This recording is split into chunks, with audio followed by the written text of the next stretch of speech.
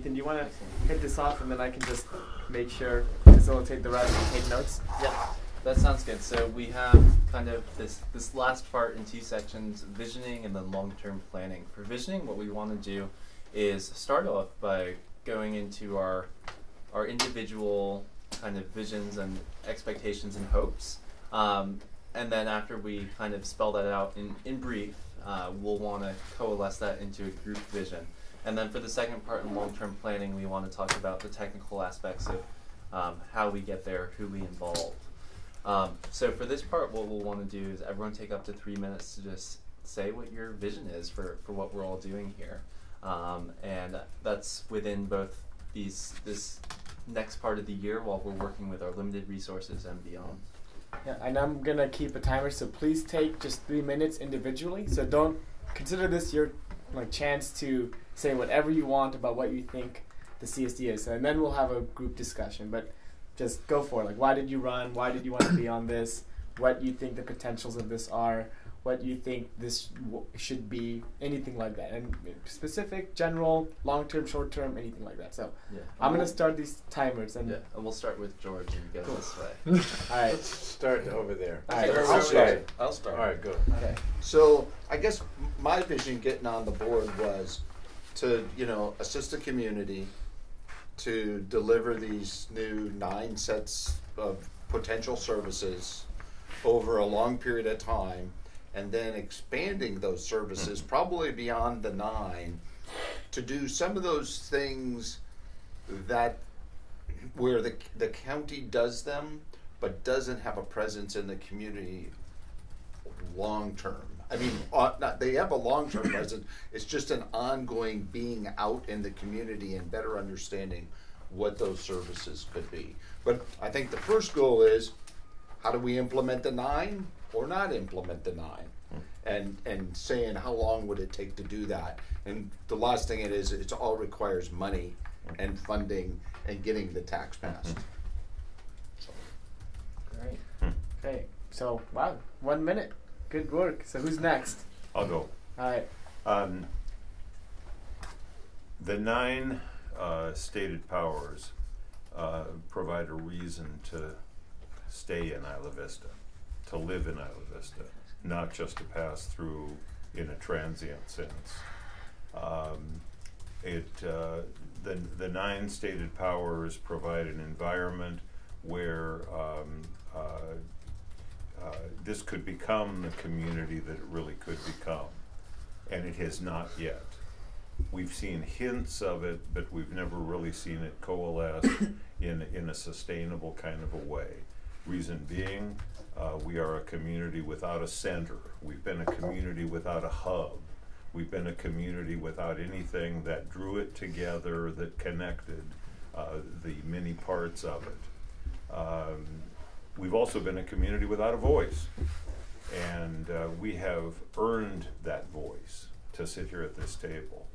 And uh, it's, it's time for us to deliver on those nine promises. And they are promises, they're not just positions. They are promises to this community that this will be a safer, better place to live. A place where you might decide to stay, might even decide to raise a family there and uh, and pass on a legacy from this place.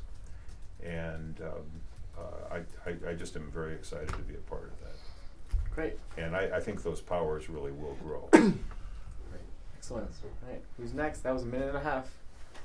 Uh, I can go next. Okay. So um, I think that um, you know, as the youngest person on the board and um, still a student in my own right, I definitely come at this from the perspective of um, only learning. I think a lot of sort of what the functions and day-to-day powers that local government has responsibility um, are um, over our, Um, you know, I learned all that fairly recently, and I see the way in which these processes that what we're doing is very um, mysterious i think to a lot of students and to um, a lot of folks who live in this community Yeah. um, that don't like something that's going on or have this idea for something that can be done that in a lot of cases uh, are really cool.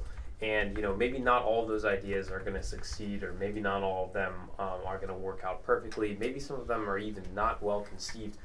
But in the current situation that we, we as a community have been in for a long time, we haven't had the ability to even try it, to even try our own Mhm. sort of uh, pathway. Yeah. And so, um, for me, with everything that I see us striving towards, is building the authority, the power, and the ability to do these things and to try these new things. Um, and so, uh, when that comes to service delivery, um, that comes to uh, both us uh, delivering services in a way, sort of, if you're talking about public safety, you know, it, it's um, developing community policing and trying um, to police people in a way where it's their, you know, friends and their neighbors who are doing the policing. But then externally, when it comes to, it also comes to focusing services that other service providers deliver. So, um, if um, UCPD or the Isla Vista Foot Patrol is um, doing something that is making it harder for them to, uh, you know, ha- as for have a safe community, then we need to be able to have some leverage to be able to focus that better. Um, so that those are really the two prongs that I come at it with um, when it comes to like what we're doing. Both it's setting the example and like setting the model, and also affecting that change on the outside. Great. Awesome. Uh, oh, that was two minutes. All right, who's next? I'll go next. Okay, one second. Let me reset the clock. Okay, there you go. I won't go for three, but uh, I really appreciate everything that folks have had to say so far, and I think that my my top priority, which is I think shared by everyone, is to improve the quality of life here and to take that to bring more stability to our community, Mm. to continue to have Isla Vista as a premier place to go to school and to live while you're in school, but to also broaden that to have it a place where you can raise a family, a place where you can uh, live and be a professional and uh, and not have to go out of your way to explain to people why it's desirable to you. Yeah. Yeah. so, and to do that, what I, I really think that boils down to is my top priority of making Isla Vista safer, um, making Isla Vista a place with a more fair rental system. So, a place where our primarily renter population can be treated with more dignity and respect and uh, be more comfortable and ha- live in better circumstances. A place where our citizenry is working on being more proactive rather than reactive, not just solving what's gone wrong, but planning for the future Yeah. um, for, for the best success. And then also empowering residents to address the challenges of the day. I think that this really is the vehicle for that, where residents of Isla Vista with our friends can uh, come and make real change. And I think that by us ensuring the long-term success, that is really our, our greatest, um, the greatest contribution we can make to this community, empowering not just us to make the changes that we're facing today, but making sure that the future generations of Isla Vista have this vehicle for change as well. Bless you. Excuse me. Whew. Sorry. So, Okay, that was great. And that was two minutes. Less than two Wow. minutes. Everyone's Wow, we're killing it. We want to get out of here on a good time schedule. So who's next? Jay, Natalie, and George are left. So one of you. So, um, when I look at Isla Vista, I see a very unique community. I see a very young community. Uh, it's something that I, I think gives us a lot of opportunity in order to try new things, and I think that it's a really interesting um, experiment in, partic- in participatory government, which actually is uh, something that I had heard from Father John at some point, wording Mhm. very similar to Yeah. that. Um, I, I I've cared a lot about transparency and about making certain that people feel comfortable um, being able to participate in meetings. This is something that is, it had bothered me at the county level um, and uh, at some of the some of the other districts. And so I, I, one of one of my big visions and goals is to make certain that at, at all stages we're constantly making certain that the public understands what we're doing, that the public feels um, like that, that, that they can come to our meetings and they can Yeah. they can participate and understand the meetings as well, which I think is also a very important thing. Because sometimes I see that governments will end up in the situation where it's like, well, the people come to the meeting, but they don't really understand the process. I really like the, the word Spencer used, uh, leverage, which is one that I had actually already written down as well. Um, so that's like a separate Mhm. thought process, which is that I think a lot of times we end up in a situation where the county has been making decisions for us, or um, uh, I, I think that it's important for us to be able to um, have this this entity of our own in order to be able to to have a better, stronger seat at that at that table in order to be able to um, uh, push back in various ways, or potentially even get something like a municipal advisory council, um, which is one of our powers, in order to be able to uh, truly coordinate um, with the um, uh, with the county. Um, but so, as, as, as, and as far as the, the powers that we have, we have these eight initial powers, but I know some of them were, were controversial during the setup, and I, and I think that there were some opportunities that were left on the table. And so I'm, I'm always trying to see like what are things that we would actually do now that we are the board. Because we had always said during the AB3 meetings that well, we can put stuff together right now, we can talk about it all, but it's the board that will end up making the decisions when the board comes into power. So It'd be interesting to hear those others that kind of got left off. Yeah. Yeah. Yeah. Cool. And Natalie or George? how long was it? Do you know? Two minutes. Oh wow! Yeah. I thought Two you were going to cut is- me off. Yeah, I know. Natalie, you going? Um, Okay, yes. I'll start. Sorry, I'm like functioning at like half my normal capacity right now. Which is Uh, then like high for a That's normal like person. very, very high functioning. Uh, I'll restart you. uh, uh, the reason why I got involved uh, with the CSD, um, I think that generally people see I'm very, very much committed to service within our community and just like a much broader sense of like giving back or being involved and making sure that things are fair and just for everyone. I think that a lot of people see the only facet to do that is through like a nonprofit, and I think that that's not very untrue. And I think one of the biggest ways to do that is actually through local government, um, because that does have an impact in your life. And instead of focusing on one facet or one group of people, you really do have an ability to make change um, across a larger scale. Um, so that's why I think that this was a really good fit for me, and I still feel very passionately about that decision. So, um, with that being said, I was not as involved in the AB3 process, which kind of, I don't know if it set me back or kind of gave me a fresh slate and being able to look at things from a different perspective without having that, um, you know, like all the chirping of everything that happened before. So, I think it's actually been a positive impact for me in moving forward.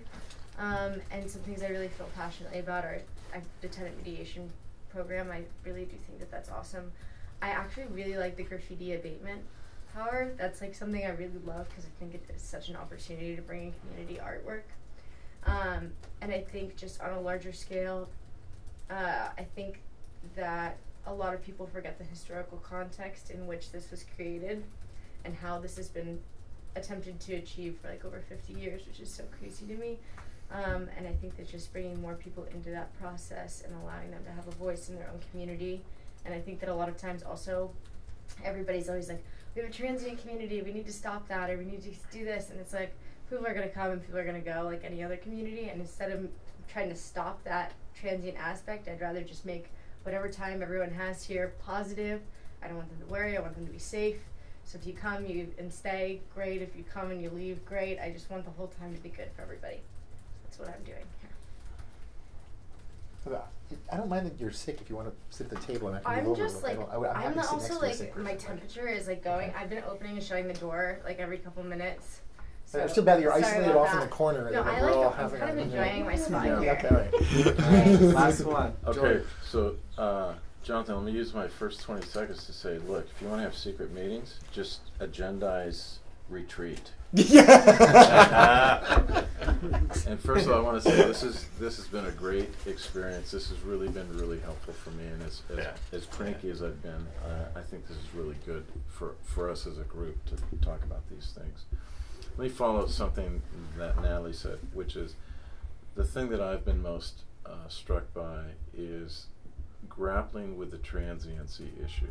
Because in my mind, as we try to compare what we're doing to any other district or any other self government or anywhere else, we keep running up against the transiency issue. So, up in the up in the clouds, we need to follow up and adopt this kind of thing where we know we have it, we're not going to change it. How do we turn it into a Mhm. power? Mhm. And it seems to me it's this board, and there's no easy answer to it. But Mhm. somehow we have to address that. Quality of life. Uh, we need to build community. That's ultimately what we need to do, and the feeling of, of belonging. And then somehow take advantage of our proximity to UCSB to enhance the community. The, the, obviously, the university has ignored Isla Vista for a long, long time. We need to change that. I think we can enhance, we can make, we have a world-class university, this should be a world-class community. I I think we can do that. I think we can align those two things. But thanks again for organizing this. Ross, thank you for driving up here on a Sunday. Mm-hmm. Cool. It's been really good. Thanks for acknowledging that too, George. That you guys completely neglected us forever. hey, that's that's the healing process. You gotta you gotta admit. Uh, us, us guys, all of us alumni. Actually, are we, are we currently essentially forcing Ross to be here? Like, I don't know if we are we talking about more legal issues or like are, are you Do just? you, do you want to go home now? yeah, Because Ross is. You just about pretty much hit the just deepest traffic. Of, Deepest, It's darkest. not- yeah, we'll let you go now. Yeah. First service hit that road. if you do want to go, it's up to you at Okay. this point. But All uh, right. thank you for being here. Of course. Oh, that didn't take long. yeah. Oh, no, no, Except you should. might You want to reroute through Thank you, Cuyama. thank you. George, we're going to talk about the intern program now. Thanks for everything, Ross. Thank You're you. best. Yeah, thank you I so feel much. so Very much better excellent. now. Very excellent. Thank Good. you. Uh, I'll have the uh, PowerPoint that I referred to. I'll send that to you so you can have a copy. Thank and you. uh, uh, Jonathan, I'll CC you. So when you do we have a think we do the second half of the sexual harassment? Probably at one of the meetings in December, since Okay, it's cool. not great. substantively. Wait, that was the first heavy. half? Yes, That's part one. two hours. It's two hours Two hours. long. Okay. You're halfway there. We're halfway there. That's All why we broke it up. See, Thank you so so much. much. Zero. Ross. Violet Brown Act. All right, so uh, the brown. So I'll turn the That's cameras off. something Let's have a of seat us now, right? So listen about petty cash. Why don't you go ahead and get some petty It's all cash? good. That's it there. Let's go do it. um, okay, so now that we've had everything, I think there have been some like pretty prevailing themes that have come up. We want people to be more involved. I think that's Mhm. something everyone said is getting people to be involved in a way that's different than other local governments. Yeah. I like Yeah. that. Yeah. Um, service delivery, like making sure that quality of life is improved through our services. Yeah. Let's open it up to discussion. What What do you all want to say as a general thing, so that we can look at this recording later and then come up with a statement that embodies what we just talked about? I, I think there's a big overreaching issue on some of our powers that it's up to us as a community services district to better bring the county and its delivery of services and UCSB's impact on those services together for solutions. For for instance, the planning commission. If we're willing to step up and pay for a planning commission, the county will probably go for it and appoint a planning commission. But the big thing for a planning commission to do would take the vision of the county and the vision of the university, which right now are probably quite different, Oh, yeah. and bring those together Yeah. to solve that that how are we going to develop this community and you know are we going to put change Del Playa to residential housing get people to move back in here and are we going to do that kind of stuff because the master plan says no we're not going to open those streets and we need to bridge that gap and the same thing with the MAC if the MAC's going to be formed everybody's kind of holding off on the MAC and saying well if there is a MAC today let's not change the MAC but really, you want a municipal advisory council if we're going to pay for it. That's going to better bring the community together about how are we going to deliver future services of government, which are pretty complex today. So I, I think that's one of the things that there's probably a lot of that that goes on today with public safety and stuff, but I don't know if it has the all the synergy we need to do d- d- d- the same thing with UC police and the sheriff. Do we really have the synergy and have we really brought those together? And is the sheriff embracing our new CSO program and become the eyes and ears like we talked about expanding it? Have people walking around and look to be acceptable to escort people? I don't know if the sheriff's there. I No. No. okay. No, in, in a word. But it's no. an opportunity to work on. Yeah. Yeah, yeah. At the same time, I think a big thing that we should address, just because I do like, I think a big part of I spend a lot of time with everybody in Isla Vista who really doesn't really care about anything until something goes wrong, like most of my friends, uh, and people still don't identify the CSD as the governing. I don't think that people see that as the number one governing thing because there's so many things that start with IV blank blank blank blank blank. Nobody knows that this is the one that is the one. You know what I'm saying? And I understand all of those boards serve their purpose, but when it comes to communicating with the county and everything else, I don't think that it has been identified by the community exactly because we are still kind of new. Like, where is the line where you go to the parks? Where's the line where you come here? When should I go to the community network meeting? And I think that we should. I don't know what the solution is, but I thought I'd just point it out because there's so many IV blah blah blahs that I have absolutely nobody knows where to go. So I think that we should definitely make that clear of what our purpose is. Well, so, so do you feel like we are the main one? Like, I would hope because when it comes to like we talked a lot about like the reason why we created the CSD, and I, I'd hope that we mm-hmm. would be the representative body where we can filter all of those IV things into one because it's right now it's too spread out. There's too many cooks in the kitchen for anything to actually get done. Because I think that a lot of time, by the time that one board has an idea over here, this board's already been working on it. Nobody's communicating all the way in the same way with the county and this and that and the other thing. So I was just hoping that there's some way to filter it more. But I, but I think we're doing the right thing. We're starting small. Mhm. And if we really start small and be successful with the two programs we have I today, agree. which is this building to expand over to that building, maybe another public safety program. I don't know where you came up with the last idea, but it's it's a great idea It's a winner. for the long term success. What's the other one that we do that the university would be willing to sponsor? What are we going to do with the rest of the university's money? You know, for the remainder of this year and next year, that we can kick stuff off with, and and, and not overreach ourselves that we somehow I like to take risk and try it and if we're unsuccessful we do it again we can't be afraid of that but how do we decide what to do next and then keep being successful because I think you guys have something to brag about I think the CSO program and running this community Yeah. center the condition of this building the uh-huh. condition of the room Yeah. it's it's it's uh-huh. much better than f- five years ago when I was out here. Mm-hmm. So Well, if we can slop into long-term planning, um, Well, we have a structured way for doing that. Do you want to take a quick break and then jump right into it? We gotta also order the food for the.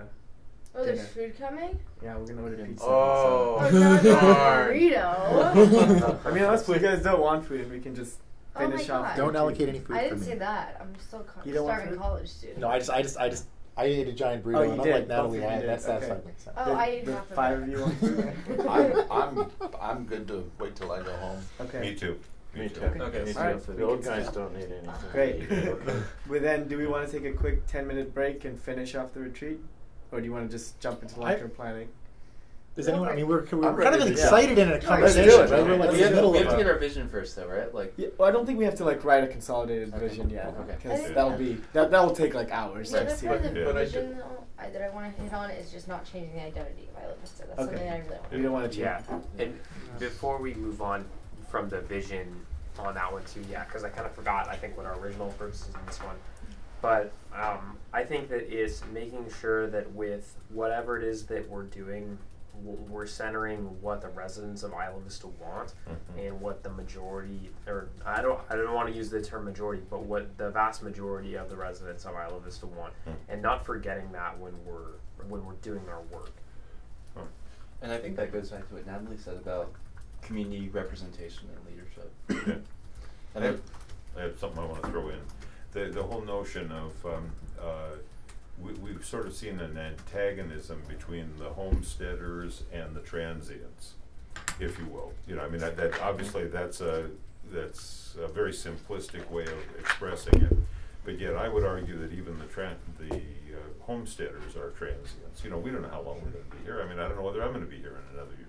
I may be dead, I may move, we don't know. God Keep forbid. off that But- God part. forbid. Let's not do but, but somehow or another, we have to navigate those two communities into a shared community.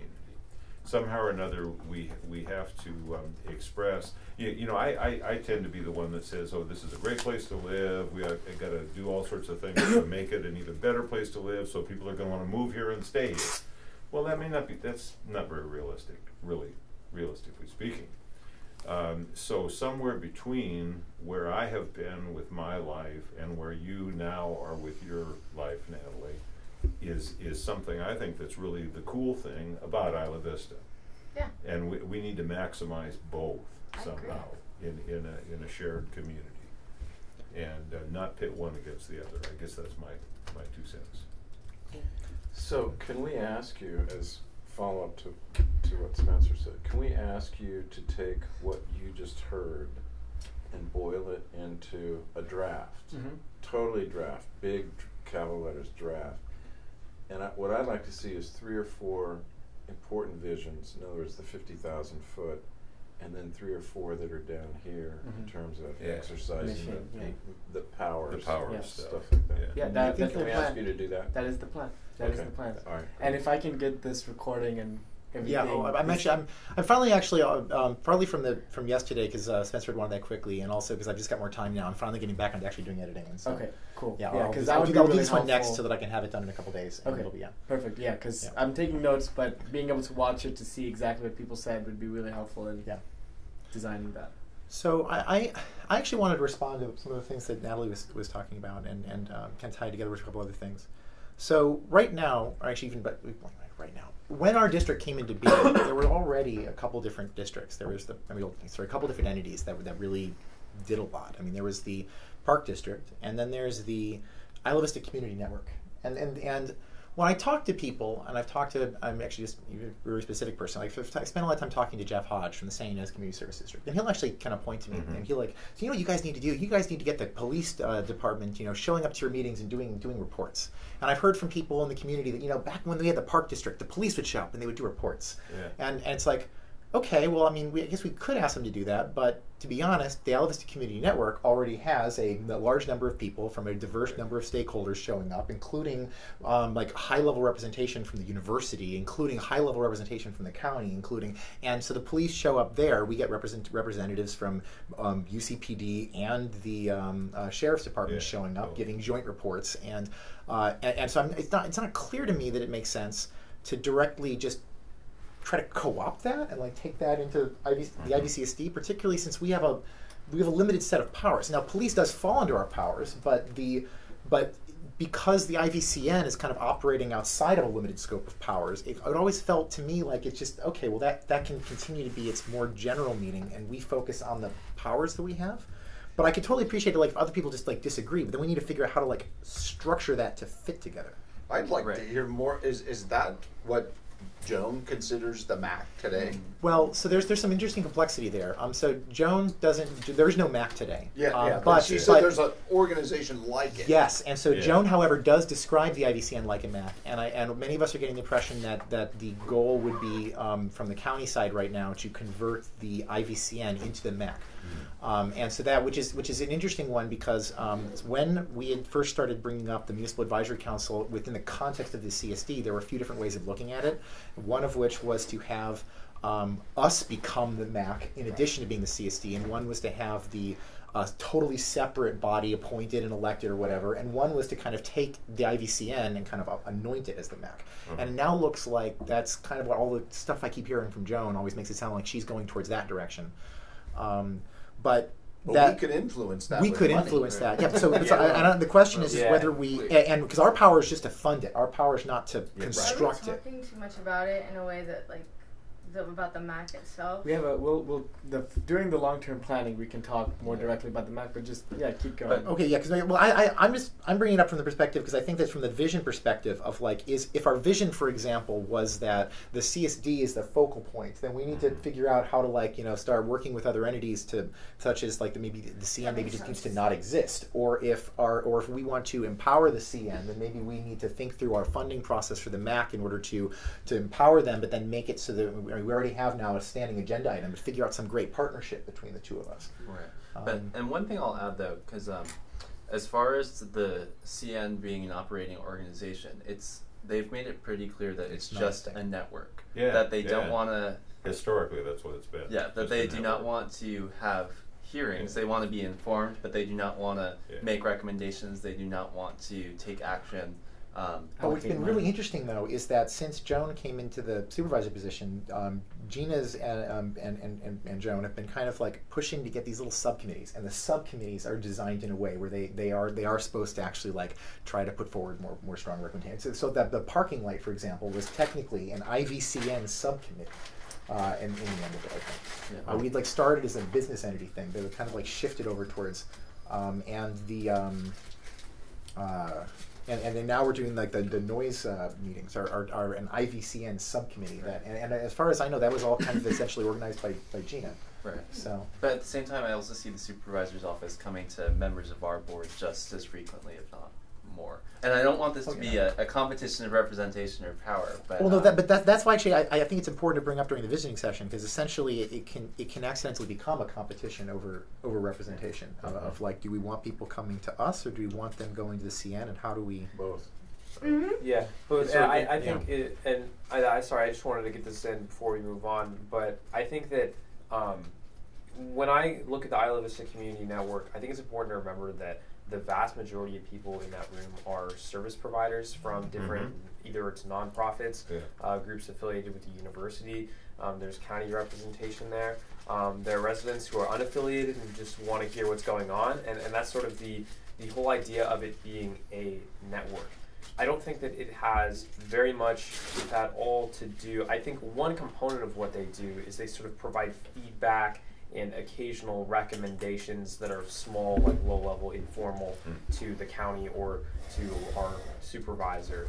I think that that is completely distinct from like what I view our project is. I think our project requires us to be a little more creative about who is involved in the decision making power about what happens in Isla Vista in the long term in a world where sort of the CSD or whatever succeeds the CSD uh, like is the decision making power and sort of is taking on some of those responsibilities. And for me, when I think about that, I guess in you know the easiest way to think about it in the short term is a MAC. Is how do we construct a MAC that looks like the community and doesn't just look like um, you know a bunch of service providers in a room talking about the different things that they're working on because there's a time and place for both of them Yeah. but they serve very different functions and they also can garner much different levels of support and make it much uh, you know easier for things to get done if you do it right and maybe difficult if you do it incorrectly I, I don't want to pit the two against each other, but I want to pose a really critical um, distinction between the two. Uh, I used to go regularly to the CN meetings. I mean, for years I actually went to those things. And uh, about a year and a half ago, I kind of fell off because of other responsibilities. But I do recall toward the last, in the back of my mind, I would think, how many residents of Isla Vista are here? And really, when it came down to it, there were many, many meetings where I was there, where I was the only resident of Isla Vista around the table. Everyone else was a service provider, someone who worked in Isla Vista, was there eight to five, gone at night. And we are, on the other hand, uh, a body that's constituted, uh, at least primarily, from people that are currently residing in Isla Vista. You know, that, that, that, you, you got to vote on us because you resided in Isla Vista. And you, if you didn't, you didn't get to vote there. And so, um, I mean, there really is a critical distinction that's here.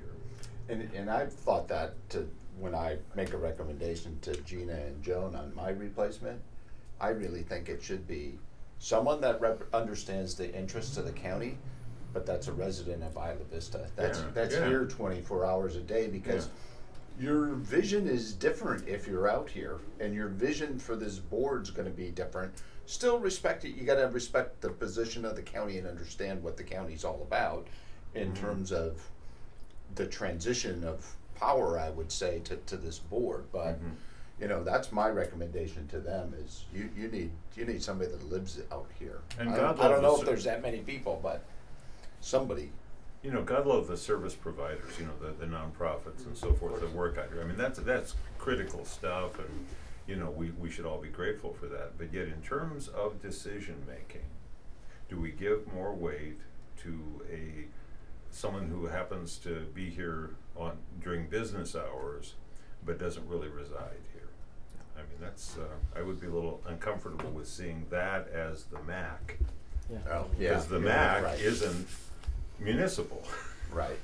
it's extra mu- municipal. Yeah, and, and I've and I've also got the impression from some of the people I've talked to that, that people who are on IVCN don't really want it to become the MAC. Right. Yeah, So- yeah. I think that it's it sort of goes back to that old adage about politics, which is that politics is the art of the possible. But I think in the in terms of government, sometimes we pigeonhole ourselves into looking at sort of what the lay of the land is currently, and then thinking, well, how could we empower these existing organizations, which a lot of times can be good. But I think that if we adopt that framework too much, then we forget the you know sometimes um, like you know we can just sort of do these things. Like you were giving the idea of like um, having reports from the police at like all of our meetings. And i mean i think it's an amazing idea. Like i would love to see that happen like as soon as possible. And um, you know there the two components of that are like number one you know we as the csd we do claim one thing which is that we are a government with a broad mandate to do a, a broad uh, array of services. Um, the five of us are all elected from, you know, we're residents of Island. So we're the people Mhm. that we have just been saying that the community network may not have a whole lot of representation from. Um, and at the same time, um, we we could have the ability in the future to like exert leverage in that way over you know say like you know law enforcement i think that's one way of going about it is putting ourselves on a path to slowly get more leverage over these institutions so we make sure that it's part of their operations that they know that they have to come and speak with whether it's the csd whether it's one of our subcommittees something like that so that turned into a little bit of a ramble but No, I, I think this is a good sounded good, discussion. yeah. Like, what are we? That's this is what Yeah. we're discussing. Yeah. What are we? So Yeah. And I'm glad that you brought this up because I I think that a lot of for a lot of it's good for us to hear all these things and Yeah. hear just very candidly what everyone else is like thinking because sometimes we may have assumptions that other people don't necessarily share. yeah. Yeah. And I think like that interaction right there where you mentioned the you know we're the center and then Jay was like, well wait a second, it, it, do we all agree on that? Like that was a good thing. That to, was It was a good rabbit hole to go. That's down. why we did this. That's why Yeah. we're doing this Yeah. session. Jonathan, what were you gonna ask? I was gonna say, um, are we ready to move on to long-term planning? I think so. Okay. And um, how I was envisioning that we could maybe do this is we have it focused on one service at a Yeah. time, and Yeah. obviously, like after we go through all, we can come back, we can compare. But I Mhm. think it could be helpful if we go One eight, service. eight parts. Yes. So Um, I, I have a recommended structure. You guys can Oh, tell me if you want it or not, and then we can make adjustments real quick. Does that structure include like an order of the services? Yeah. Okay. Um, so the so we have eight services: tenant mediation, community facilities, public safety, parking, MAC, APC, lighting sidewalks, and graffiti abatement. Is that the order you wanted to do them in? Yes. Um, Um, can you repeat it more slowly? yes. Tenant mediation, community facilities, public safety, parking, MAC, APC, lighting and sidewalks, graffiti abatement, and then Wow, that is. I, I, I, I'm, I'm actually very, very interested in that because that is just that is not the way that I even clump them in my head. I, so that's oh, awesome. uh, I think I almost ordered them the same way they are in the bill, but I think parking is second technically. oh, so you didn't you didn't like carefully think through an order. I, I came them. They came. Just this is the order I remember them in.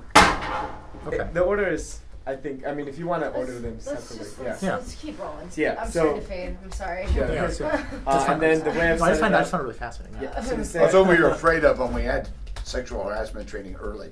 We Uh, fade. Okay, so the way and to for for time purposes, I've put tenant media, and this is just based on you know where we're at with these things and where I've seen the board being. I'm gonna we can change these. Tenant mediation, 14 minutes. Community facilities, seven minutes. Public safety, seven minutes. Parking, two minutes. MAC, uh, I, we just had a significant discussion, so let's say 10 minutes. Um, APC, seven minutes. Lighting and sidewalks, 14 minutes, and I have a reason for that. And then graffiti abatement, five minutes. And then uh, I have two additional points, which are community engagement and then partnerships, which are similar. And that's 15 minutes between the two of those. And did you say So- just two minutes for parking? Yeah, I mean, just because I, from what I've heard at the board level, is that that might not be something we'd want to do right away, but we can Okay. expend some time for that. We have some flex time. I, so I, I, I would like some time to talk about powers that we. Don't we have. don't one? have. Okay, yeah, yeah. Could we start off with that just so Jay, or I don't know, that Whatever. just be At interesting. end, I think that would be. Because Yeah, Be that'll- interesting to hear at s- It's probably end- better once we've Okay. gone All through right, each yeah, once we okay, cool. yeah. Okay, so so, I'm gonna give that one like five minutes, um, and then I'll start the timer. So, and then the structure I'd like us to look at for this, and I'll go pull up our service plan. Is, um. First, we'll review what it says in the service plan very quickly, and then we'll discuss, uh, you know, our thoughts, what value we want to bring with that service, and then we'll discuss um, what do we want to achieve, and because that's what Ethan has been saying. Like, what do we want to achieve in that area, and then we'll come back to like exactly what we need to do later. But um, does that sound good Meeting to at a later meeting. Meeting at a later At- meeting. at yeah, the yeah. full- yeah. Yeah. Good. Uh, so let me pull up. Where is the service plan? I think it's, I think it's going to be it to complicated us, with, so- with seven Okay. people in order to manage to do things like two minutes on parking, no matter how little we have to say on it. But we're like that we five should minutes just on try and graffiti knock it out, and if it doesn't work out, then we'll switch shift things around. As long as we don't miss evidence, I can go back a bit. Okay, so What time we got? Five twenty. We're good. We're think good. we're gonna do a good time. sixty minutes and then. Hey, there you go. Service plan. Uh, put it on the website. It makes it easier to get to it Yeah. anytime. Okay, so tenant mediation. So I can I can do this one almost from Top of your head. Yeah.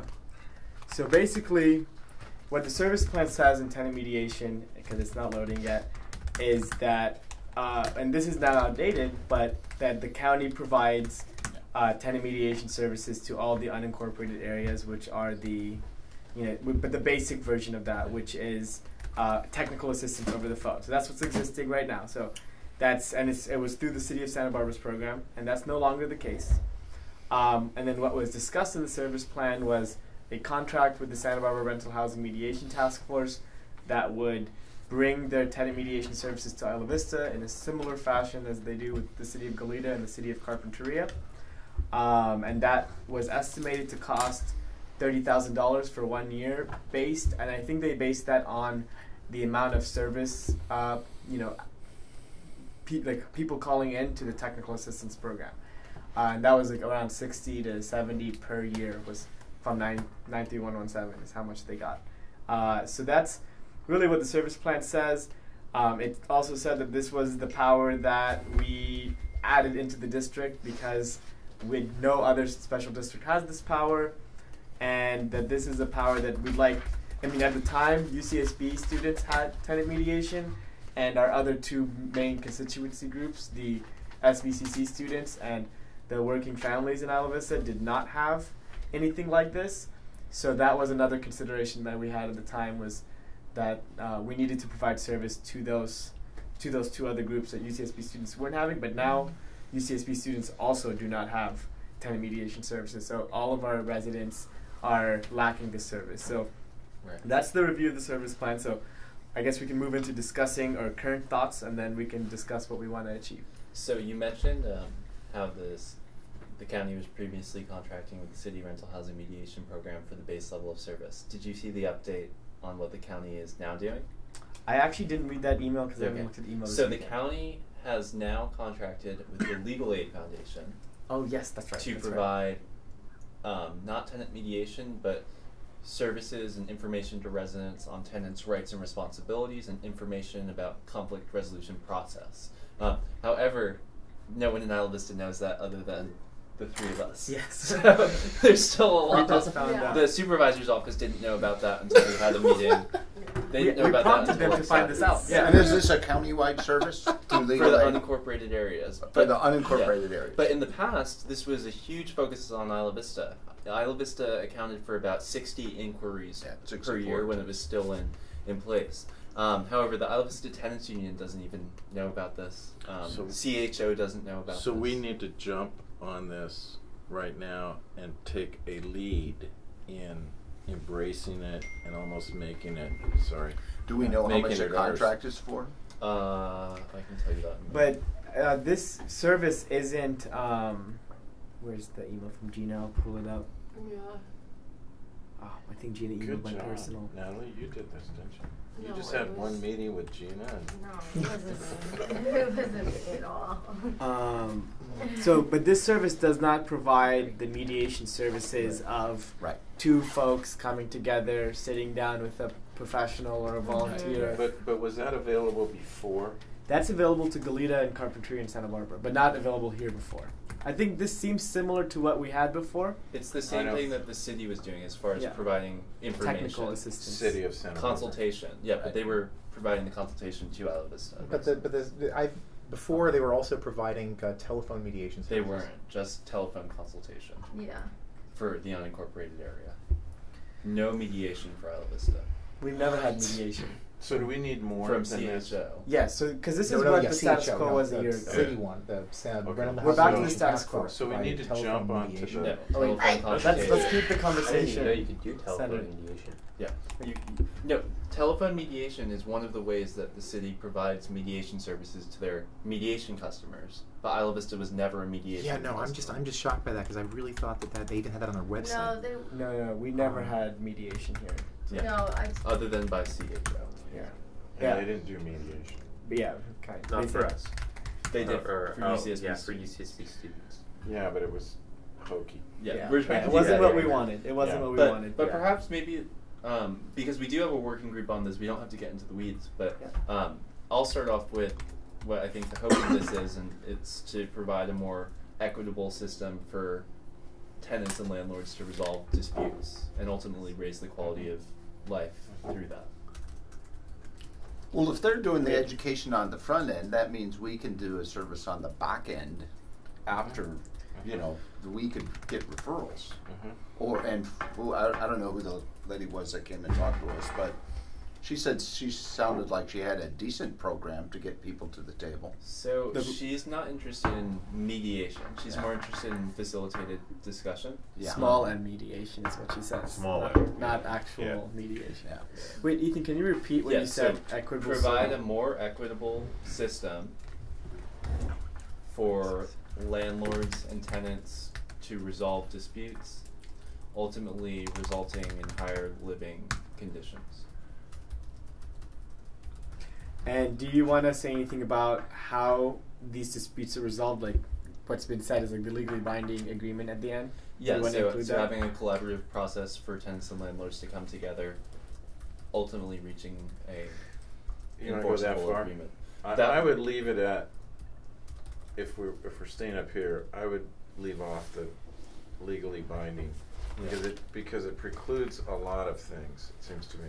But I mean, the intention through the whole process has been legally binding, but ultimately it's not legally binding if both parties don't agree to it. So they can start mediation, and if they Right. don't ar- arrive at an agreement, they don't arrive at an I just worry if we have a vision document that says our goal is a legally binding Yeah. at the end, we box ourselves in Oh, so this, on. This doesn't have to be really part of the visioning document. This is like Right. what for what for me to keep in mind, or and for our working group to keep in mind when we're Right. going after services. So does this is anybody know if there's a model out there in another university town Well, I that thought the model was Santa Barbara. Santa yeah, the city of model. Santa Barbara is fantastic. has a fantastic model Yeah. uh, about how you get binding Yeah. agreements? Oh, really? Oh, they so- really, this service plan was largely developed based on their recommendations and consultation with the group. Yeah, We're they just came having to a lot trouble of bringing them to the to here. Mm-hmm.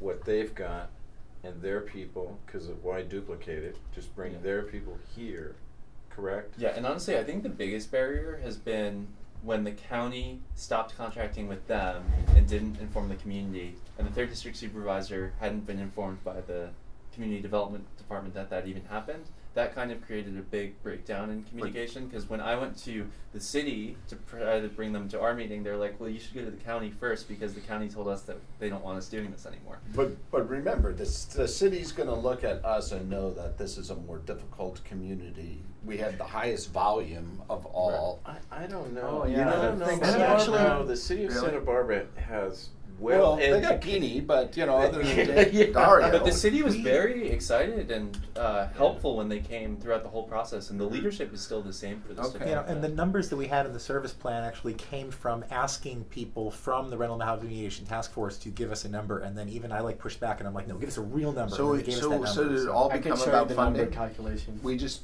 Funding's good too. The whole thing is just that the county was providing the base level of service, and then that ended and wasn't known by leadership. And I think that's where we we now know what the situation is. and wanna UCSB has pulled back yeah. based That's in the- and mostly that's made really It's new, yeah. mostly based on personnel, based on the fact that what we've all learned is that somebody that was over there was sort of doing this on an ad hoc basis, but then promoting it as a program.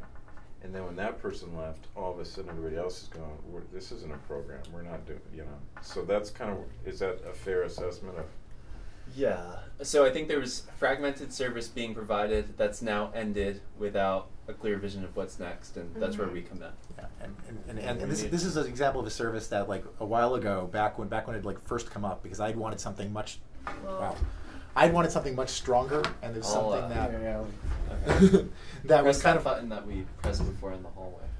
and it kind of became almost like a compromised position to have have this rental housing and I've always been like ah it doesn't seem like it but now that it's it's like this power vacuum land it's like no it's really important for Also, us to like use this power that we have in order to pull this off and I see the mistake that I made it was Goleta that had the telephone mediation and it was then us that I, I I pulled up a talk that I gave on this thing. So it seems to me like um, the the first course of action. I mean, I don't want to micromanage the committee too much. Would be to try to get more information from Santa Barbara. Yeah. we need to do that. So To that's on our restore to-do the list. service. It's on I think to-do that- What we list. need to restore Yeah, the we're there. service. Yeah. I think that we're all over that. Yeah. Okay. Is there anything else additionally that people would like to add to the vision and moving forward with this beyond like Yeah. whatever we're doing right Yeah, now? I think we know Yeah, what we I- need. I think we to got this Yeah. part. I, I, I would I like to The vision in this report is pretty vague about what did we expect to accomplish. It just says we're going to use their services without saying what those services really were to Well, Rental Yeah, mediation. yeah, I- I mean- rental mediation for every Isla Vista resident. Yeah.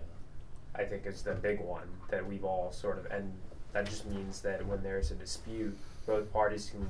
There's a mechanism to bring the parties to the table, and they sit down and they can hash out an agreement with the facilitator. I'm wondering also for, I'm, I'm more concerned as to scope as I, less as I am to execution, which I think on the execution end of this is fine. I'm kind of wondering where it comes in like with building codes. I don't know if that's part of, I'm kind of wondering if that falls under this area layer. planning commission a little bit So more. yeah, building codes would be either area planning, and then enforcement would be our code enforcement power, which is not activated So yet. it's not, it, this would not fall under the, No. got it. But building codes could be like involved in the discussion of a mediation. So I was gonna say, if theoretically, like, let's say that my steps fall in, who do I, like, is that, Code enforcement. that goes to code enforcement, okay, got So. So one- we're talking about residential, correct? Yes. Yeah. Because we have, we have not made that, a- we've just said rental mediation. We haven't said residential rental mediation. Uh-huh. Oh, well, rental housing mediation. Is Okay, the, okay, how, okay, I didn't Yeah. hear that. So one of the assumptions in that service plan Here's text was that we would be contracting with the um, with, with the rental housing mediation task force. Now we've been talking about some other groups. Uh, one of the things that had come up when we were discussing this with, for example, the tenants union, um, there was one of the AB3 meetings where I actually just asked them, was the CHO doing a good job? And the response was, you know, actually now that you asked, we didn't think that they really were. And then the question is, is well, is the Santa Barbara Rental Housing Mediation Task Force a good option? Well, if you actually look at who they have as mediators, one of their lead mediators for many years was Chuck Eckert. Um, Oh. And and so well, I think he was with the universities, not with the. no, that was city. that was he, for a while. had He was St. with George, the- I think, for the tenant, not Chuck. I've got. I. I. I. I, I, Says it I, I, I, there's Oh. not not this No, no. exact side that I've got right here, but yeah, this is Yeah. the. Uh, So we accurate have the on all of Fox mediating the from- hen house. Yeah. Yeah, and so the question, and, and, and, and, so, and so one of the thought processes was, is like, do we, um, uh, to be expansive in our thought process of who does it, and then potentially also at some point look into, do we want to do it? Um, we actually, this is one of the few powers that we have where we have the option to do it. Most of our, most of most times we have only the option to contract for it. Well, I, I think we should you're have not putting a the negative connotation on anybody's involvement in anything when it comes to like board record of like you know when we're mentioning people's names we have to be really really Yeah. cognizant of if they were actually part of that and what connotation that we're putting all that in. I've, I'm, I'm already So- weirdly public on the fact that I've said these things. You don't have to agree with them. So, So can I, can I just say, I don't think we wanna go there because the, we're talking about salaries, just for a lead mediator are so far beyond, I think we, this is where we need to. But I also wanna say quit real quickly here, I think that in terms of our strategy here, and I've talked to the committee about this, and I wanna recommend to the committee again, this could be something the university would fund. Um, in response to what you were saying, uh, Jay. Less than a minute left. Student, student, it was really the students who did not like the CHO process. So, this feature's changed a lot though since I the know it has. AB It doesn't three. have the- Yeah. yeah. so I would just hope lot. that you could put together the tenant mediation package is something to go to the university, but it's gotta be really tight. Right. I do- we should bring up what the discussion with IVTU was in Yeah. terms of like what they want to go with. which is the conflicts like what conflict solutions center, like a nonprofit that does like mediation. But And we're, Okay. we're looking into that, but we're also looking into what we originally Okay. Yeah. were successful with. Real quick, if you want to go back to the document to close this out, that we make sure we agree on what we have written. so the, the this other is thing I think we should do is if we're going to go offer university money to kickstart this program again, we need to then make some decisions, being fair to the Oh, shoot. university and fair to us about. Well, do we think that's an ongoing program that should be really paid for out of our tax in the future? And then the university is just paying for a temporary piece, and then we use the two hundred thousand for the other things we envision with the university money, which is more infrastructure and Yeah. those types of things, those one-time things. Yeah. So, Great point. just, The timing is good to go to the university now because they've pulled back and they understand they've pulled back and they see it as something that's needed. So I think the timing is good, but it has to be, has to have a pretty bow on it. But didn't they pull maybe for funding?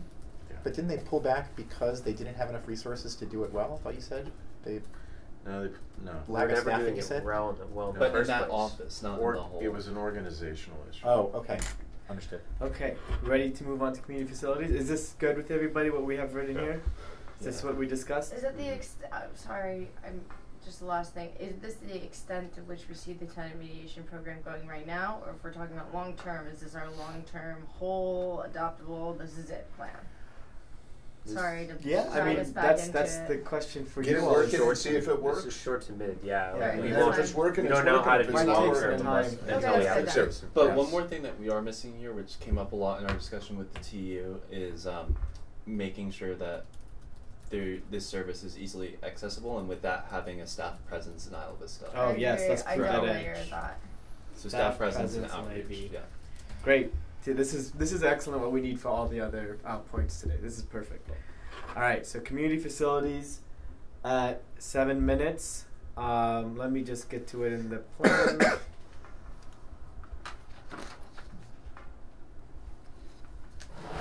Where is it? oh no, it's the first one in all the sections. If that makes it easier. So it's on page twenty. Yeah, here it is. Okay, so the current thing we have right now are this has changed again because of what's happened since the district formed, but there's this building and there's the community center, the 976 and the 970. Um, this building upstairs has a lot of service providers in it. Downstairs is our district office and the community room, which we now manage. Um, the community center will go online in about a year. And what we proposed in the service plan was a grant writer who would be responsible for bringing in grants similar to what we've already been doing to help provide better services through the community room in a wide variety of issues from mental health to you know family planning to anything like that. And that's what we've already applied for in the Bauer grant. So that's that was been that was the idea in the um, service plan would be to use a grant writer to program and leverage these community spaces to provide uh, additional services maybe outside of our direct scope for the community so that's these are our our assets are these this building soon to be the next building and then the original plan was a grant writer so what is what are your current thoughts and what do we want to achieve here did they ever get the one point seven million that they were trying to get for that? it wasn't 1.7 but we got a lot we They got, got one point two? no i think we got an additional like 500 Five Yeah, hundred? it's like Okay. eight or nine hundred thousand. Oh. yeah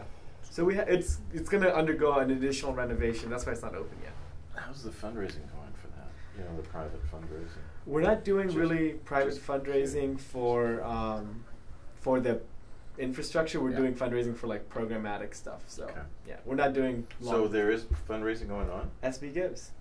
Yeah, we have eleven hundred dollars raised. Oh, I didn't under.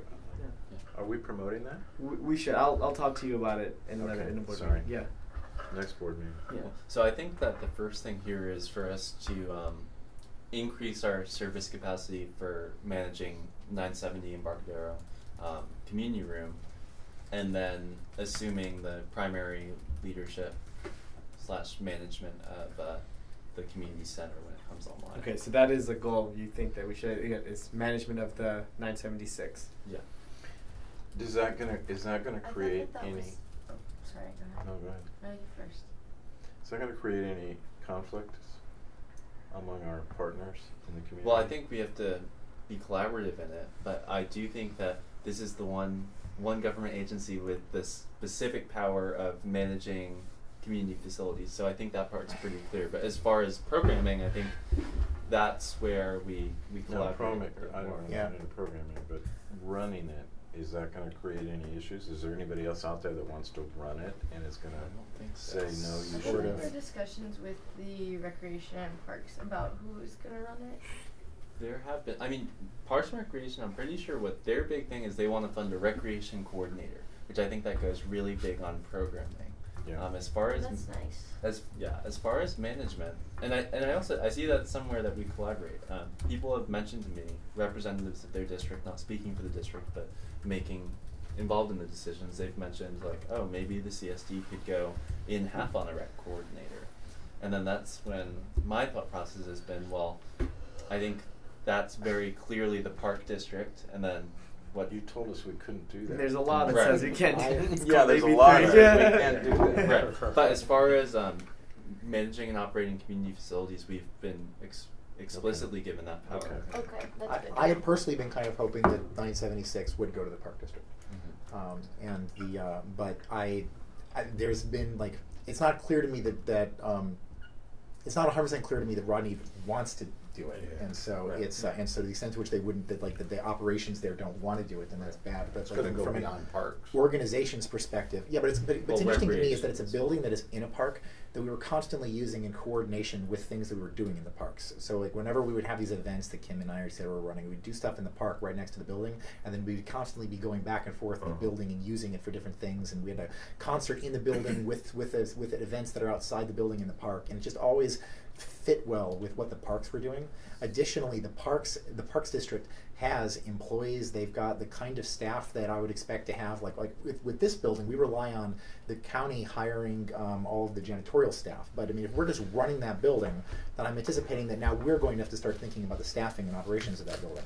Whereas the and, and, that would be if we're especially if, if we're against doing um, our own tenants mediation program, that would now be the only reason we would have staff is to is to is to run this building. Whereas the park district already has union negotiation processes, they already have to think about that sort of thing. It just kind of seems easier for them to, to assume it, particularly if a lot of what's going on there is recreation programming, and they already have the recreation. Is that division just to do recreation Yeah, that's a programming good out of point. there? Is that is that what we want to do with that building, or that what we believe? Do we want that to be recreation focused, service focused?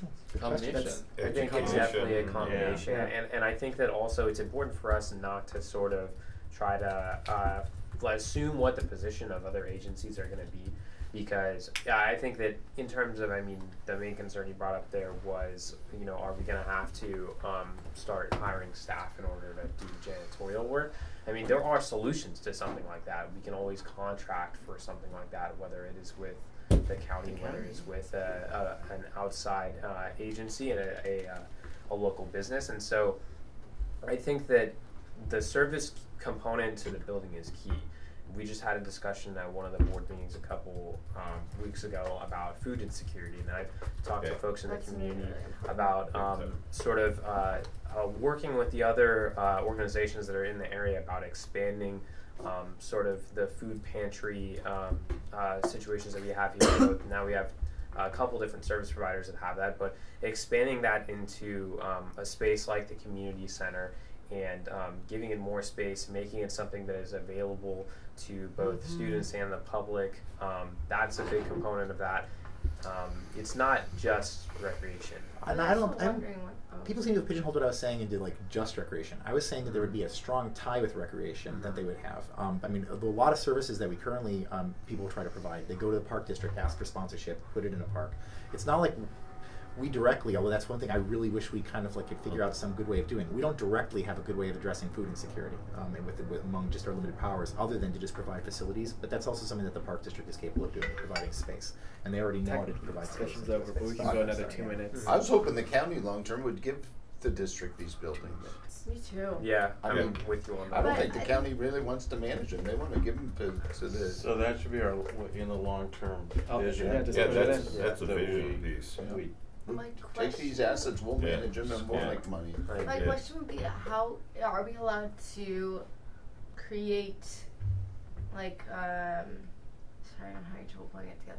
Like, are we allowed to, gen- like, create a not like a business plan, but a way to generate money to bring it back into the community? center? Yeah. For Yes. example, like having a thrift Mhm. store attached to it Mhm. that would do- people could donate to and get a tax write off, and also we could, you know, provide low cost clothing to people and then pay for the community center with it. Do you know what I'm saying? yeah, yeah. Like, we can do things I'm like trying that. to think of ways that I Can we do that things like good. that? One uh, one common example was uh, a low cost rental for quinceañeras and, um, hmm and Oh, bar okay. mitzvahs. So then, what's the diff? Oh no, I don't see. I don't know the size of it as much as that. But I just want to say, don't get into that business. oh, the rental for parties. Oh yeah, as someone who plans parties It's for a living, it's not. I would someone say, I never thought about I would that. say though, George, like, I, I see the fear, but that was also like a major push for why we put this Yeah, power in. I know. You just have to realize that it's going to cost you. Yeah, it's it, it would be complicated. Yeah, to run a facility like that. Well, I mean, it, it, it's just going to be really hard on your building. Yeah, But that's the There's reason a- why we'd be, we'd be charging for people using it. In that Well, way. there's So- an, an automatic 11 to 19 percent um, just wear and tear that you should calculate in when it comes to even people Yeah. using your soap. You have to count Mhm. that.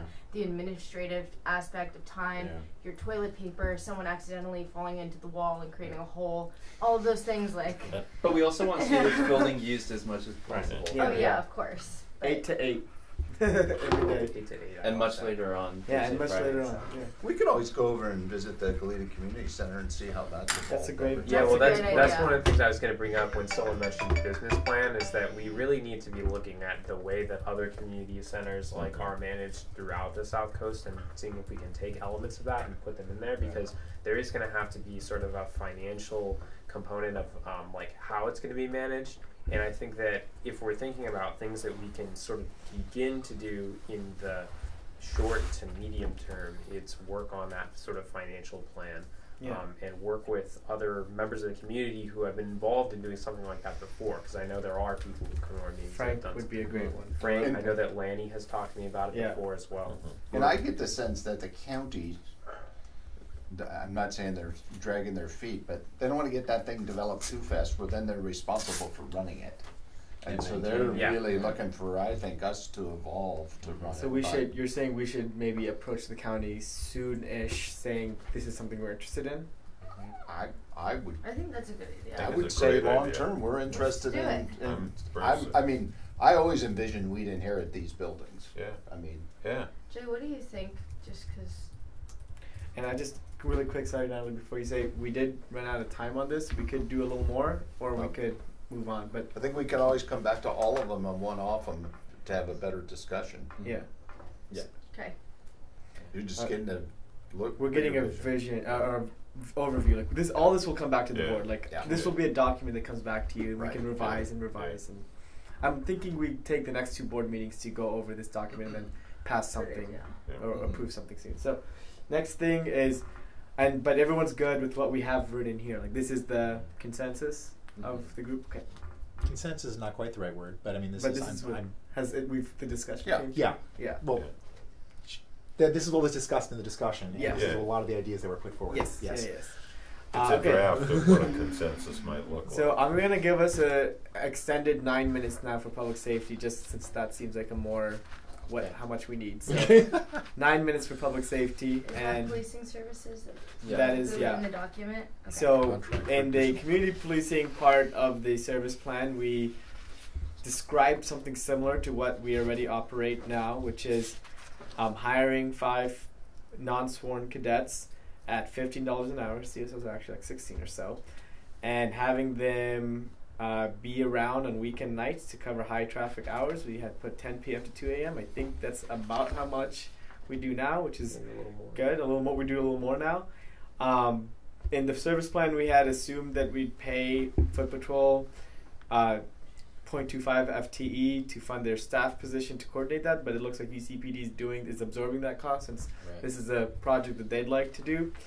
So, and but that was the extent of what we had put into the service plan, which is essentially what we're doing now. Maybe now we're doing it a smaller amount, but really, I think the budget that we had assumed here was seventy-five thousand, and we're spending fifty thousand now. So, we're not too far off from the original vision. So now we can talk about more like expansion of that vision and other things we can do.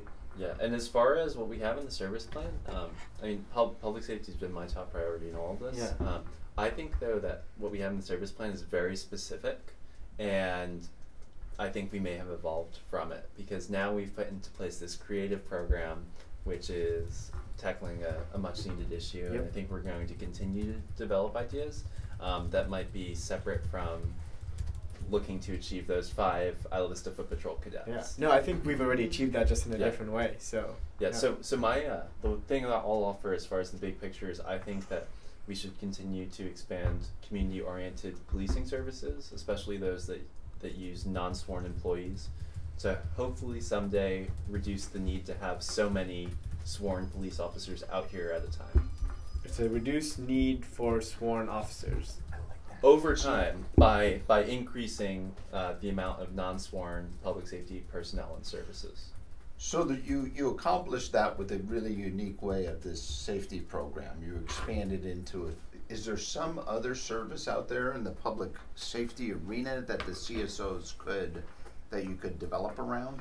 So Or does somebody have an idea? Well, well, also as far as um, when it moves more into civilian enforcement, there's the example that we did look towards in this, which was the San Luis Obispo Student Neighborhood Assistance Program, And which is Santa Barbara has yeah that now too. the city of Mhm. Santa Barbara Yeah. is with Santa Barbara Yeah. City College using non-sworn personnel to do more um, low-level enforcement, And if we look at And by what do you mean by low-level enforcement? noise noise ordinance enforcement. But is, doesn't that other group in UCID No, they don't do it in the volunteer. They don't do do They don't enforce. They let you know.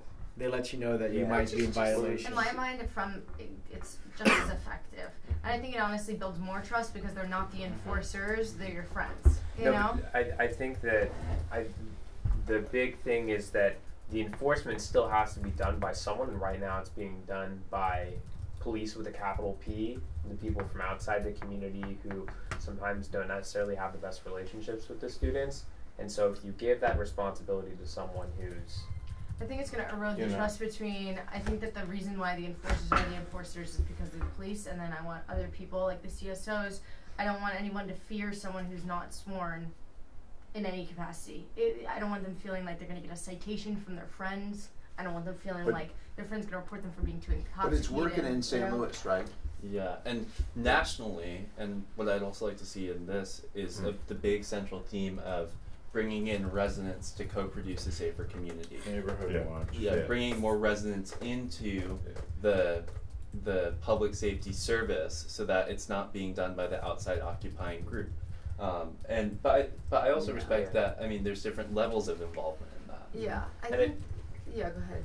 I, I was just going to say that you know maybe within that process also comes a reevaluation of what the rules are that are being enforced and whether or not the community is on board, whether or not they understand why there are certain rules that are put in place, and maybe you know um, throughout that process there's the need to change some of those things, and so that comes hand in hand with devolving those. I don't know. If That's somebody it. showed up at my door who wasn't a cop and was like, "Hey, I'm giving you a ticket," I'd be like, "Get away from my door." Wait, That but they be- they have authority given to them. Yeah, the they're state. an officer, just not a one with a A gun in the gun-carrying officer, yeah. Yeah. Talking Yeah, this CSOs? isn't you No, know no, it's me or not. Ethan in a UCI. Like the city of Santa Barbara. Yeah. Yeah. But then the city of Santa Barbara also has CSOs, and their community service officers do have the power to to cite Yes. um, for, for Yeah. certain things. The way that I saw the public safety going, like I think that the CSO program is really, really beneficial. The safety It's- station. The safety station, and I think that that's really, really beneficial. The way that I kind of saw this evolving was in a, a different direction because I think that that facet is going to kind of take care of itself, and UCIV has been doing a big supplement. I would really Four like to see um, more uh, sexual harassment, uh, rape, uh, all of those kinds of mediation, or not mediation, um, handling those through the police department. We talked about getting a investigator or a detective for sexual assault, specifically within IVFP, and just knowing how some of my friends' sexual assault cases were handled. I think that that is like a big red flag for me and I think that, that if we're gonna make a priority list of like, I think that that should be one of the ones that we kind of make as a priority. And when it comes to safety and IV, also, um, we still do have a very high number of sexual assaults in, in our community, which I think is huge. And I like when it comes to like noise violation versus like sexual assault, I'd rather like focus on the big fish. So, so that's something that, I, that I've- I've been poking at and pushing at for a long Mhm. time. Um, one thing that has happened recently is that while we were talking with the university about potentially contracting with the university to have UCPD put in a sexual assault um, detective, Mhm. um, the county uh, sheriff's department decided to put in place a dedicated um, detective for the IV Foot Patrol through the county sheriff, Mhm. Yeah. whose speciality um, and background was specifically in sexual assault cases and um, who also speak Spanish, which is the other thing that we were always Yeah. like, we, we want to have more Spanish speaking officers. And so, um, one thing that might be interesting to see is, is, is whether that makes any kind of difference, because that just came in like a month and a half ago. Um, but that said, I that was one of the reasons why I didn't want us to spend all of our money on the CSO program. I wanted us to like make certain we had enough money available Yeah. in order to try to go back and look at this again. I think the- the- did the- the It's such important. It's implemented. It's the, It's does implemented. anyone know Right. how you feel about it, or Yes. Is, I, we can go investigate, but that can be like an outcome Well, we do. Is like go I look think at Yeah, these The more. it's only- designated person is well spoken of uh, by everyone I know. I don't, do not know him personally. I think when it comes though to providing a process, that's something that we've been Yeah. really striving for, and I don't just, and that this is something I don't want just a title. I don't want just a person because we can have a person and then you know we were talking about policy versus practice. I need a practice in like instilled in our Mhm. community of handling these things in a timely manner and making sure that it, uh, that the entire community feels like it's a safe place for them to go. So just because I don't know the officer, So I don't know is this that. what you want me to write? Like, Yeah. Should we try to? Is this a potential we could work with them to develop? better practices. better practices. and also make community members aware of it and make it them feel like it's a safe place to be able to go. Yeah. Two two things really quickly. The first is that I think it's really worth it to try to make sure that people are satisfied with the new detective because Yeah. um, it has been, according to the news press, or not the news press, but just the news media, this is one of our accomplishments. Um, if anyone has seen Yeah. that article about how We're getting credit. we agitated for this. Yeah, we're- we're getting Maybe we brought the issue yeah. up. Pat We ourselves brought the the issue You I up. we actually did bring see the issue up. Yeah, in a couple years from now, Bill will want us to pay for it too. Yeah, Yeah. yeah, exactly. Well, and, and so that sort of actually nicely goes into um, the other thing that I was going to bring up, which is a little more 30,000 feet, which is we need to think about what our role is going to be in determining sort of what the vision for law enforcement agencies in Isla Vista is going forward. Because I know we've probably all heard certain things about what the sheriff um, may or might not think about his role in Isla Vista going forward and what we think is best for our residents in terms of how you know that plays out as well. I know Supervisor Hartmann has um, We'll wrap it up with you. he has even suggested that um, you know the the law enforcement in Isla Vista be turned into a contract with UCPD. Now, wh- whether or not UCPD is re- ready or um, interested in doing that at all is another story. Um, but in terms of who has, if that were the case, and if you know law enforcement were turned into a contract in Isla Vista, know who has the levers, who ha- pulls the strings on those in that contract? Is it us? Is it the county? I think these are the things we need to think about long term. Long term. Okay. John. Just, um, uh, UCPD does not have the capacity to respond to a major mass fatality incident. That's the bull ball fact of the matter. They, they just don't. They would not, uh, by themselves have had the capacity to respond to twenty-three May two thousand fourteen. But there is mutual aid. That's how fire department. See, and that's what, that's Yeah. where, it, you know, but you don't wanna put something that, that, that at the get-go is depending on mutual aid. In other words, if you're, if you're looking for independence, you're looking for control and so forth and so forth, you wanna have built some ability to stand alone. And a university PD is, is just flat not ready for that. Yeah, during the last um, round of uh, sexual, um, like, say, like the Title IX sit-ins Mhm. and everything, I went. I was talking to a number of people about the idea of the sexual assault detective, and one of the concerns they actually had is, is that well, is it going to end up being UCPD, or maybe we can look at getting it to be under the sheriff's department, um, and Yeah. for, for various organizational reasons, or for actually concerns about things related to UCPD.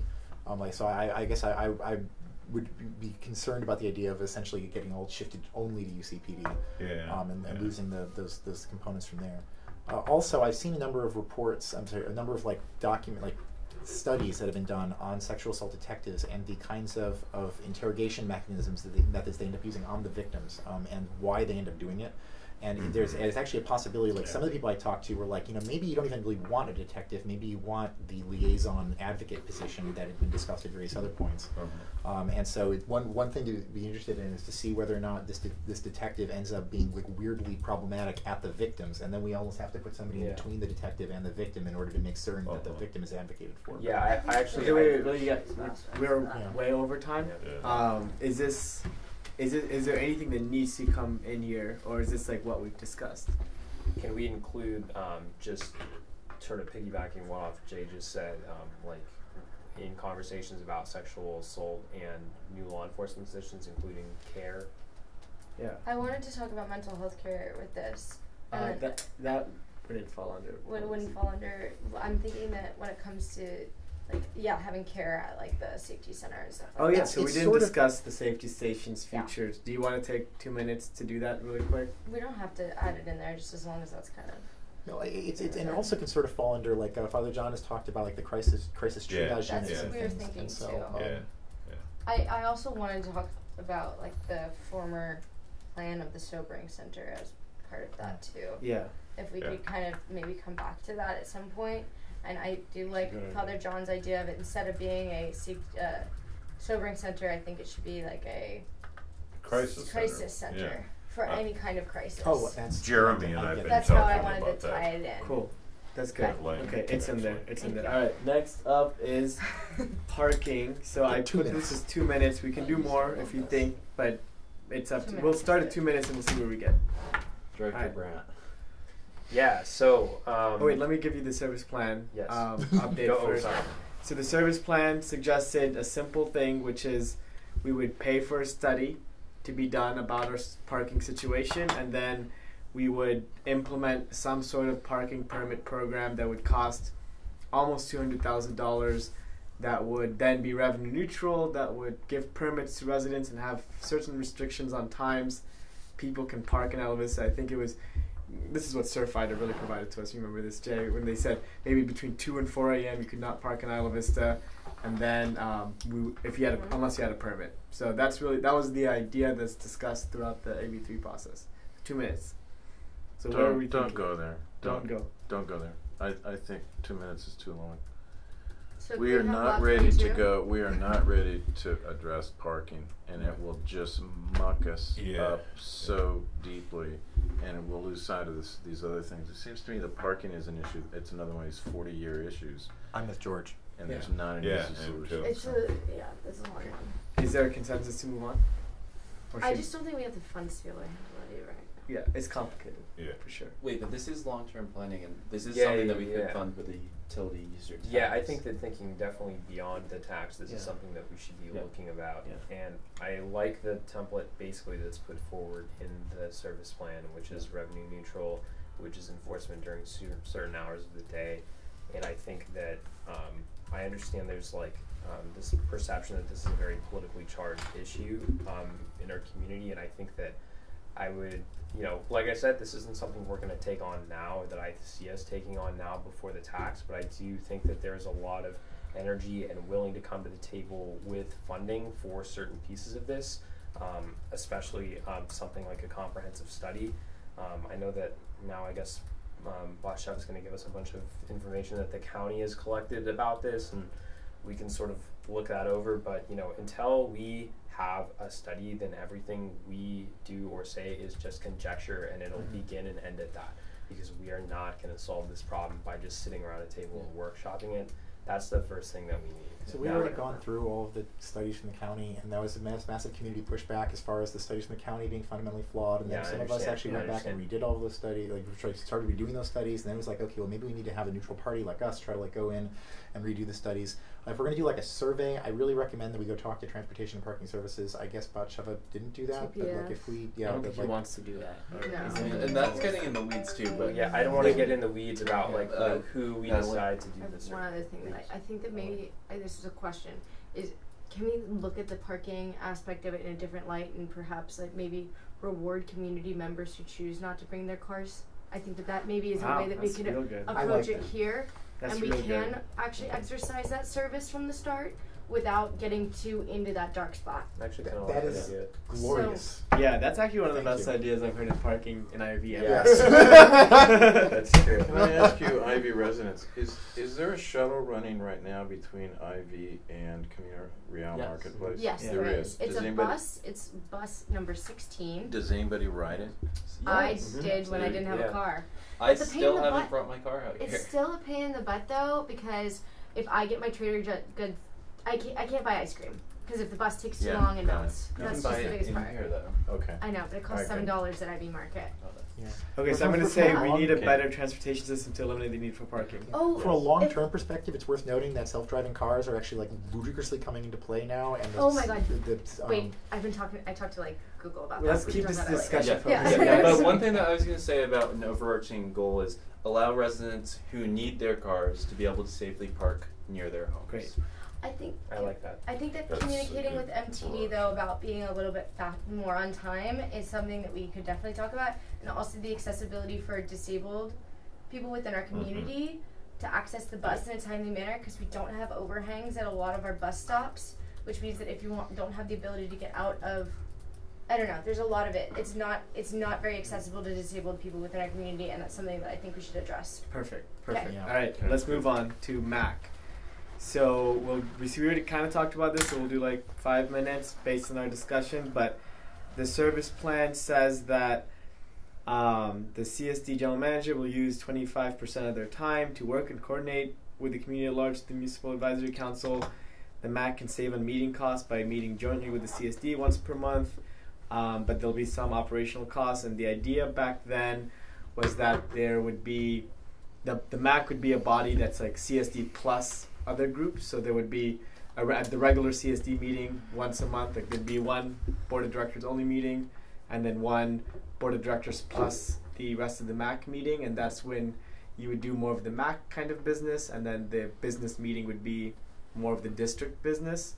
Um, and that was what was in the service plan, but we can talk about how we want to do that differently. But I, I still like that. yeah, And this is a model called a, being a county town, where you kind of cobble together a city based upon having the powers of a municipal advisory council and the powers of a CSD and the mm-hmm. powers of an area planning commission. You cobble them together, and it feels a little bit like a city, but you're still using the county for policing, and you're still using the mm-hmm. county for. county town. I yeah, think- I remember we saw so- that. I think you be got to be careful how we do a MAC and how what powers we give it because when I look back and look at the PAC and the GMAC, which was 25 people in a room arguing forever about getting nothing done. We spent 3.6 million dollars doing a master plan for the community, and it was always a fight between the university and the county. It was And so- until we got a hold of the redevelopment agency and just went and did something, which was Yeah. Brooks Firestone, let's go do something. Yeah. Um, that big organization didn't was was kind of unwieldy. Can we talk about and that's an example of a MAC? Just because I'm, I don't know if I exactly all the way understand Yeah, that- it. that's- That's that's not that I an- I can explain It's what not an MAC exact- what- It, it was the PAC and the GMAC, Okay. Yeah, which was sort of a planning. different. Okay. So So let me explain what a MAC advisory is. So, a MAC is when a county board of supervisors designates a body, whether it's a new one or an existing one, to be the official voice of an unincorporated community to the board of supervisors Yeah. on issues that relate to that community, whether it's all issues or certain issues that the county does designate. So some MACs can only be for two issues that the community wants to make input on, and they'll have theoretically formal input in the county decision making process on the issues the county does it gave it. So it's really a county based entity Mm-hmm. that we could be, but we would work with the county to tell them this is the kind of map we want. So my I- question would be: Does that mean that this is our opportunity for public participation within our government, or is this an opportunity for us to speak to the board of supervisors? It's You kind know of both. I mean, it's really. I mean, the Yeah. main thing is for more participation in and having more representation in the county, but it definitely opens up more room for people to be involved in the government. But the original Yeah. purpose was for communities to have more of a voice in the county. And so that would mean that people who are on the CSD would want to be within the MAC to be able to communicate, correct? I we were mean, just talking about that IVC. when we wrote this, the idea was that we would want the elected officials of Isla Vista to be helping form the official opinion of IV to the county. I, and I, I, I want to make absolutely uh, embedded in anything we would say about this that if we are going to give a voice to Isla Vista, it bloody well ought to be principally the voice of those who reside within Isla Vista. I agree. I Not merely those who do business or nonprofit business or all of those other fine things that we do appreciate, but that um, the MAC should not principally be a body for the nonprofits that do nonprofit business here. All right, I'm going to defend them for Well, a for second. Spencer. They might not live here. For Spencer. Yeah. I, I just wanted a question and then a statement. So the first is, um, oh, can you go over what some of the operational costs are that were embedded in the? They let's- were they were theoretical operational costs, like things you might need, like paper, maybe So, a project to do. Uh, uh, essentially, we could theoretically absorb a lot of these costs. it would be we just wanted to technically free. If we made the CSD a MAC, it would be technically free. So the second thing that I wanted to throw out there is I think that it might be really beneficial for us to do this and do this. Um, let's get started on this very quickly because I think that if we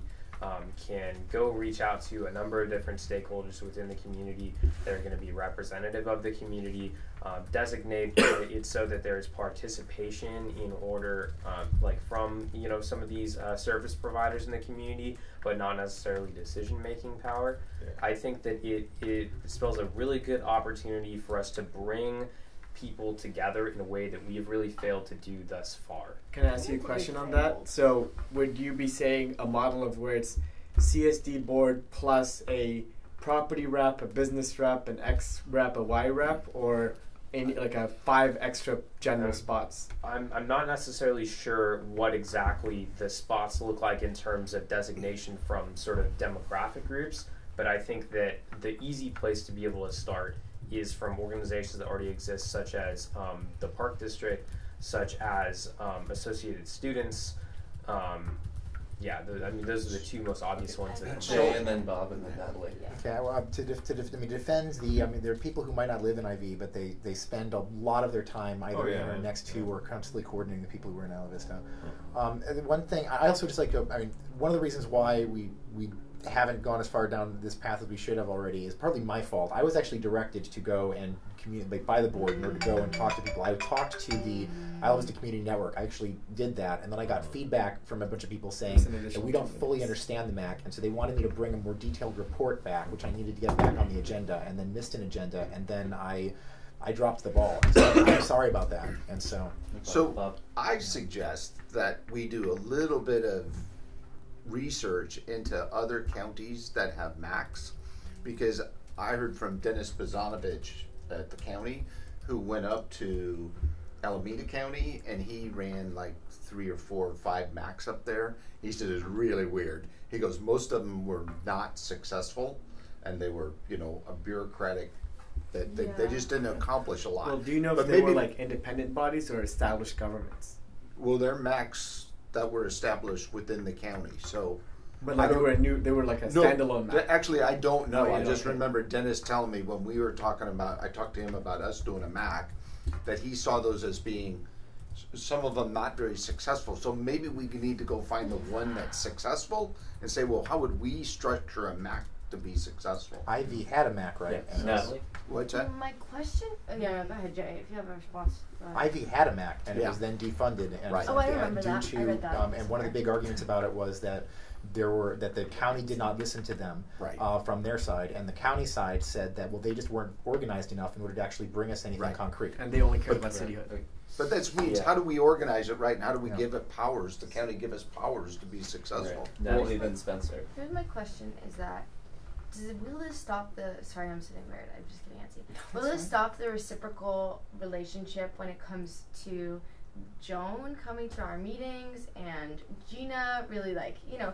I, I don't know where because I know that we talked about like, mm. but if we're always going to them, does that mean they're gonna stop coming to us?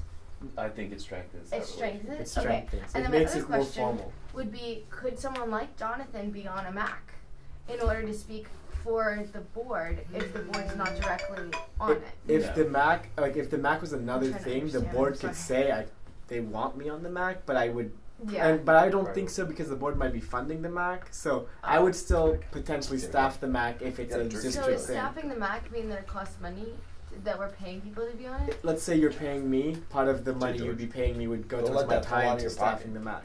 Your passport, back pocket. Oh, Thank you, George. That's my checkbook. Like that, Natalie, that's how we did it in the service plan. Is we said that part of the general manager's time would go towards supporting the MAC, whatever that meant, Okay. and that they would cost a certain amount of money because part of their time is part of their money. So I just don't understand why we would have a Mac right now if we don't have something that the go- that the county has wanted us to work on with that. Well, I think we mean, need to approach the county in such a all. way that it would No, work. They Foot mean like patrol, that, they didn't that's- say I think that- specifically like we want a Mac for this, this, and this. You know, like that's the way. But They that have- that's, Yeah, that's but us also- to But come we can them. say to We them, say to them? we'd like a Mac Yeah. for planning. Oh, that's planning. That's a Yeah. separate topic. But Yeah. I'd like a Mac for law enforcement X, Y. Well, well, let's think something that that came up recently was uh, sanctioned trying to events understand in what Isla you're Vista. saying. Something that came up recently that Joan Hartmann wanted us to work on was the idea of liquor licenses. I think there are a lot of things that, and I think that she especially has a desire to devolve the decision making power down to us. It's just that there has to be a structure where it makes sense for her to devolve the power to. So she's came and talked to like just me and Rodney individual. See, she like came and talked to like Jay mentioned IVCN at one point with the Okay. stoplight. So if you, I think if you build it, then they will come. Is what I'm saying. Yeah, and real quick, just to provide a one example before we move on, as to a successful model of this working in other counties is um, one of the ones that's featured in our financial feasibility study. I think it was in Oh, San yes. Luis Obispo or in Ventura. Was um, before substantive decisions were presented to the board of supervisors that would affect the community. The department head or their designee had to go present to the municipal advisory council and get feedback Ooh, I like before it went to the board of supervisors. That's Yep. cool. That's really And I think cool. that's what we'd be Yeah. looking Thank for you. here. Uh, Here, it's and I That's really cool. That's how you avoid, you know, things just stopping up and coming to a halt. Yeah. Because Right. if if we just have to wait till the board of supervisors agenda comes out, look through it, and say, oh, we're going to make a recommendation against this, well then that's Right. how you know. Right. we'll Okay, that. And if we're looking about where in our enumerated powers the potential for a police collaborative board type thing fits, I think it's within a map. I Oh, can see that. idea. Well, I we were can see talking about the police collaborative. Okay, never mind. I'm just Okay. I'm so All right. I Are will we ready just to throw move out on? there that Yeah, some, yeah. it's something Okay, that done worked yet? hey everybody, so- let's let's move on to I the next agree. topic. But this this. was good. Is this accurate? yes. Okay. Yes.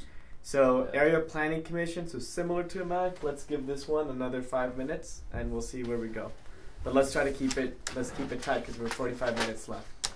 We aren't going to get an area planning commission. The people from the planning department of the county actually came to Let our me- AB3 let- meeting. Let me let me introduce the the uh, service plan really quick. So, what the service plan said was that if we had a designated area planning commission, if we were designated the area planning commission by the county, like the CSD was, which is possible, and it would be like the county town model Jay mentioned, then we wouldn't really need to pay a lot of money to make it happen because um, they, we would only be paying for the staff time in the moment that they use it to come advise us, and we'd only pay for the meeting essentially that we needed them at. And they said that they probably would only need four meetings a year at the most. So it was estimated uh, three thousand per meeting, um, and then that's twelve thousand a year. That was the estimate. Of course, that's not might not be hundred percent reality, but the idea would be that the county makes us the area planning commission, and then the staff that would have already worked in Isla Vista development and advised the main planning commission would then just come to ours first. Are you saying this is the same, area planning commission means the same as the Montecito planning commission? Very Similar, yeah. Yeah. It would be interesting to see how much the Montecito planning commission costs, and it's a really powerful body. The, the Mon- Montecito got their planning More commission by essen- by essentially um, threatening to become a city and to in fact um, coordinate with the developer of one of the major hotel projects to hold off on finishing the hotel project, such that the um, the transient occupancy tax that would go towards it would go to Montecito instead of the county, uh, and in order to get the leverage for that. But Montecito was really concerned about not having their own city, and they wanted their own planning commission Right, to control development. right, but the, No the- different out in Isla Vista. There's so much development going out out in here But that it should be coordinated locally. I, while I agree with that, the, the, the, the, the point that I was trying to make is that the, um, the, so the planning department actually had come to one of some of our AB3 meetings and Nyan laughed at us at our thought process of putting together the APC.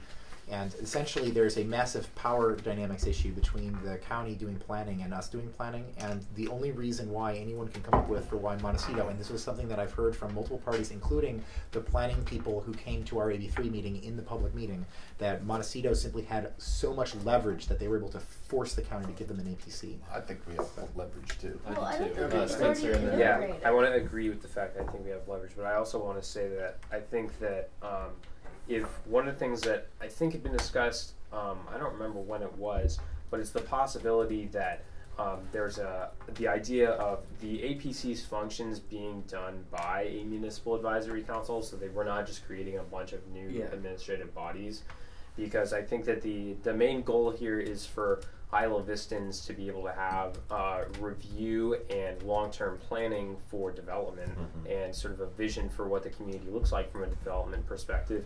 And if that can be accomplished through a, like one body instead of two, then I think that's beneficial to everybody. So would that be accurate? Like the MAC, which is the CSD plus others, would be the body designated as the A- APC, and it wouldn't meet. It wouldn't meet all the time. It only meet as needed. Is that what you're trying to say?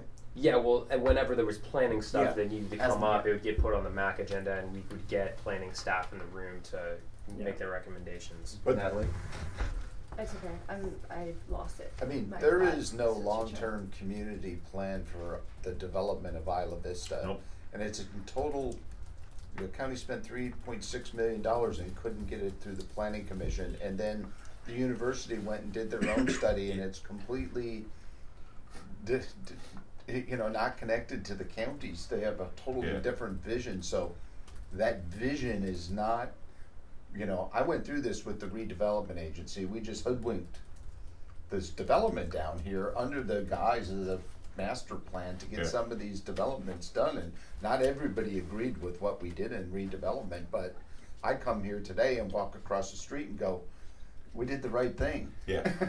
Yeah. I mean but if you have a, a, a area planning commission connected to a MAC that concentrates on the planning of Isla Vista it would Yeah. have more um, focus I think And we got Pescadero Lofts because of redevelopment. right We wouldn't have gotten Right. it, the, the most socially significant development in the whole community. And I think I think we're ready to move on on this Okay. one. I Yep. think this one we haven't arrived at a clear conclusion, and I don't think we will in this meeting. Yeah. Other than the fact that Isla Vista residents need more participation in Mhm. planning. Yeah. But and even in the AB three process, we didn't come to a conclusion We on didn't, this, honestly. yeah. So.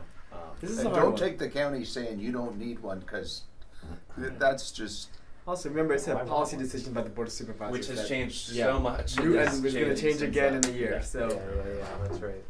All right, next up is lighting and sidewalks. So, the reason I'm suggesting we give this one more than 10 minutes, maybe like 12 to 13, is because of the prevalence of the suggestions in our survey. And I, don't, I know that's not agendized, but I'll tell you that it is overwhelming um, how important, how, how much of a priority lighting and sidewalks is. So, Okay. let me well i'll describe what's in the service plan. So in the service plan we reduce the scope of this ability and the ability is not really just lighting and sidewalks the ability is all the powers of csa 31 which are uh, gutters street trees lighting and sidewalks. So all four of those are within this ability um, but it's ex- Traffic calming kind of devices too. or- no, no, no. That's another. That's a Yeah. power we don't have Yeah, activated. yeah. But basically, like, we would be able to contract that with the county. That's what CSA thirty one basically is. Is contracting with the county to build these infrastructure projects, whether it's Uh-huh. putting a tree in or putting a sidewalk in. Uh, But uh, and that's what was in the service plan is that we would work with the county to determine what those needs are and what is in their plan and fund them as we thought the priorities were. So, what do we think currently, and what do we think hope to achieve in this?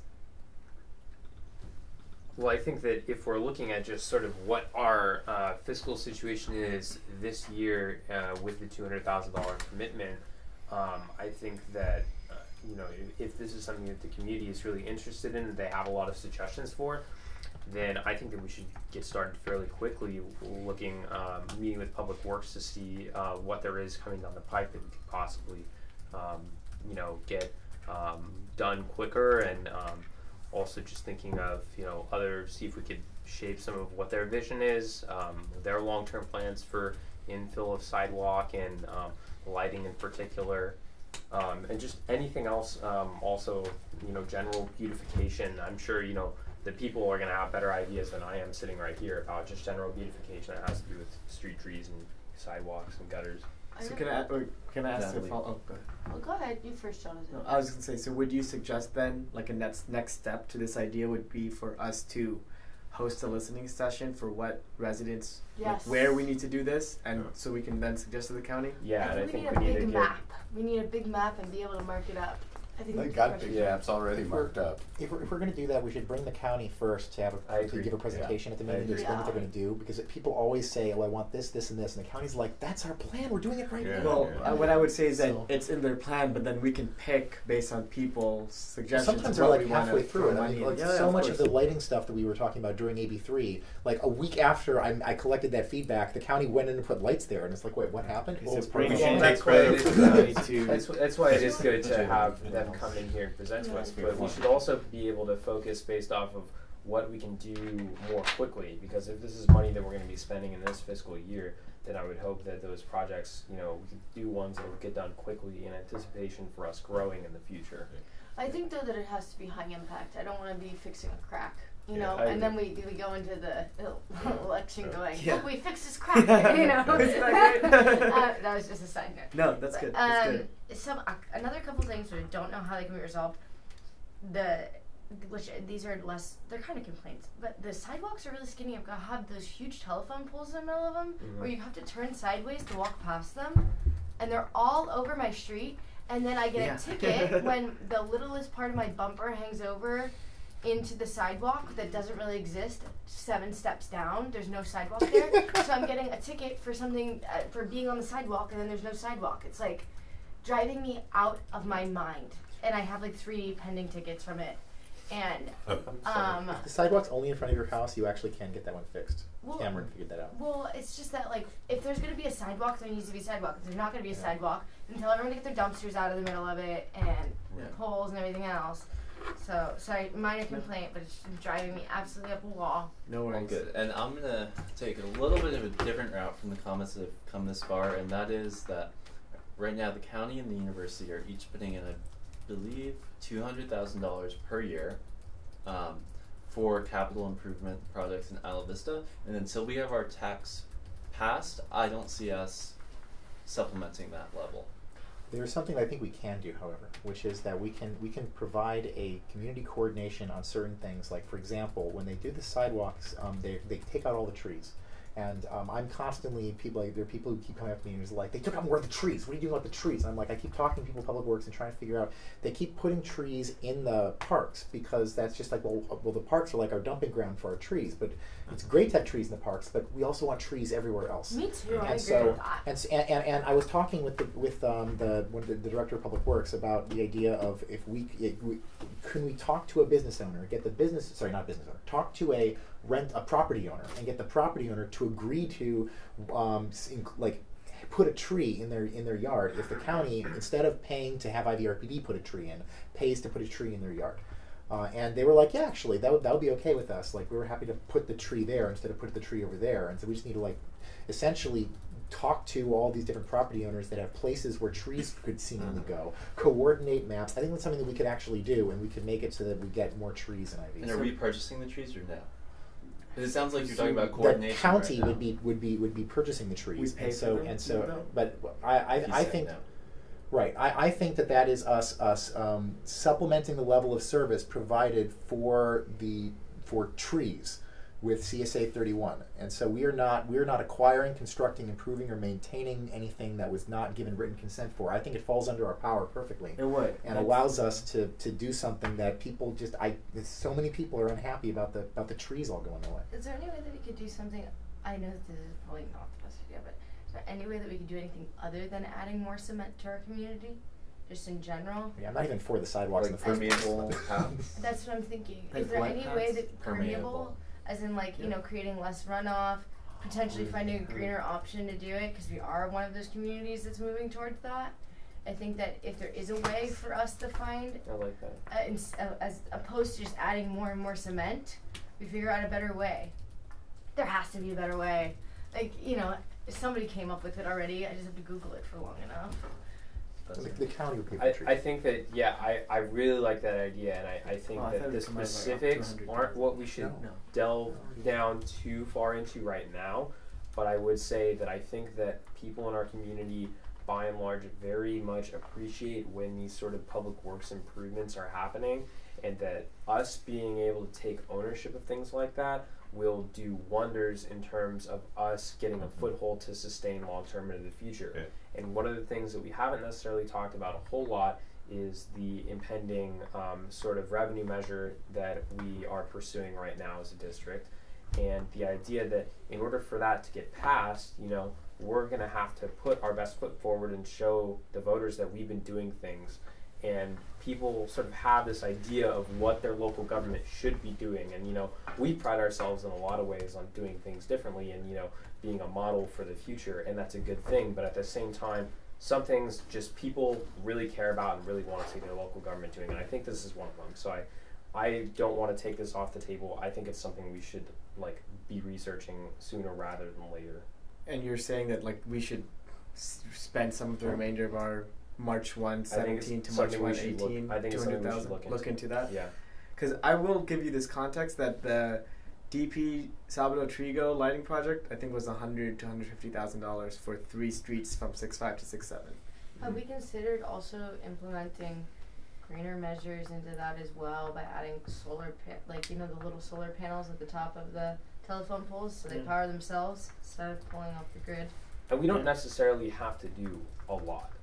You know, the the volume of what we do is something that is uh, specific and it's negotiable, just like the content of what we do, whether it's concrete or permeable passes. You know, Yeah. something we can figure can out. Well, we, we should, we should all go back and, once we have access to Finn, we can go look at service area thirty-one and see what surplus is over there and see what they're doing with the money. I don't know where they It do usually have has surplus. They have a surplus. surplus. Yeah. What? They do They have a do They do have surplus. surplus, They have yeah, surplus. I, I figure they do. I thought it was all going back into maintenance. No.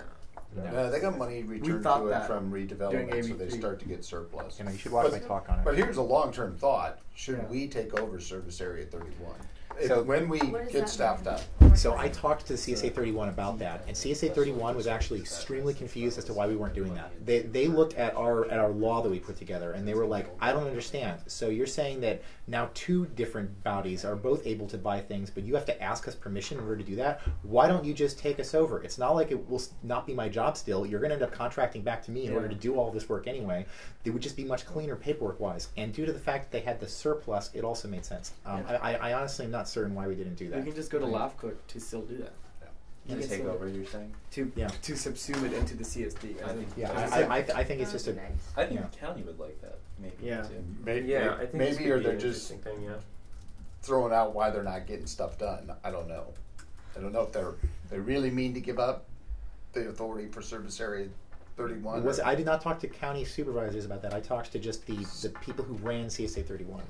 So I don't think county supervisors probably would agree with their staff for that one. Yeah, I think that's what we should It just depends on where the extra two hundred thousand is coming from. If they think they give that over to us and then they get out from the two hundred thousand that they're contributing, Mm. maybe that's how they're looking at it. But I don't know. I don't know where that money's coming from. Anything else on lighting and sidewalks? Okay. Uh, we have one service left and we're almost done. I Um, wanna, oh. or here, you do that, you show the service plan, and then I just wanna offer something that'll maybe streamline this one a little bit. The graffiti abatement? Yeah. Yeah, so graffiti abatement in the service plan. All we said was we could help pay for what IVRPD's needs are. And we said we'd even pay for more than what the needs are. So their needs were like 6,000 right at the point in 2015.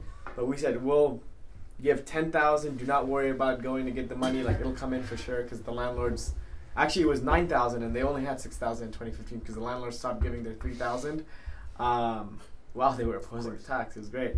And so we said that the CSD could give 10,000 to make to make sure that the program always works. But the additional idea, which was not directly in the service plan, or it was in another part than this, which is to fund public artworks that would mitigate future graffiti. I think that's lovely. Yeah. Do you, Mhm. this Go is this is obviously really different, but in uh, Toronto they had a huge issue with community graffiti, and instead of uh, hiring muralists, they thought it would be better if all the community members participated. So they have this whole street that used to be graffiti, and then every six months they repaint over it to do another community painting. And I like the idea of Huh. refreshing. Yeah. So if we could create create something that we would be able to refresh regularly, Yeah. uh, creating a du- Like Venice Beach. that's yeah. what you do, like create Yeah. a graffiti spot. I think that's Yeah. such a cool Yeah. part of it. To refresh it. I, I, I like that. I think giving it new life every so Yeah. often is cool. Yeah, Spencer. I think that's a really awesome idea, and I think that we might, you know, I just want to throw out an idea, maybe the side wall of the community center. I know it's still in renovation right Yeah. now. I love think it. that's awesome. Wow. But if we Yeah. could get, because right now it's just all shrubbery and there's the tree over there, and if we could, you know, work out some deal with the county where we could get some of that stuff cleaned up, and then in return, you know, we would contribute to Historically, there've been some great murals there too. Well, There's there's a whole ordinance on the books that they're gonna have to put two percent of the fund for art in public places, that they should Yeah. put it to. This I, comes so I don't know if it applies to that contract, but generally it does. yeah. Yeah. one of our like one of the discussions we had about placemaking, I think that this is a huge aspect of it, Yeah, and really yeah. making. This is where the investment in the community happens. Is here, I think. Graffiti abatement is like the hotbed of that for me, at least. I think that immediate action that we can move towards taking is um, finding out what the park district's unfunded Yeah. graffiti abatement is for this fiscal year and an estimate for the next, Mhm. and make a request to the I can do that. university very soon. I can do that. I'm meeting with Rodney on Tuesday. That's so. so good. The graffiti abatement has always been a funding issue, and it's such a small funding issue, Right. but it's such a big deal Yeah, all the yeah. time.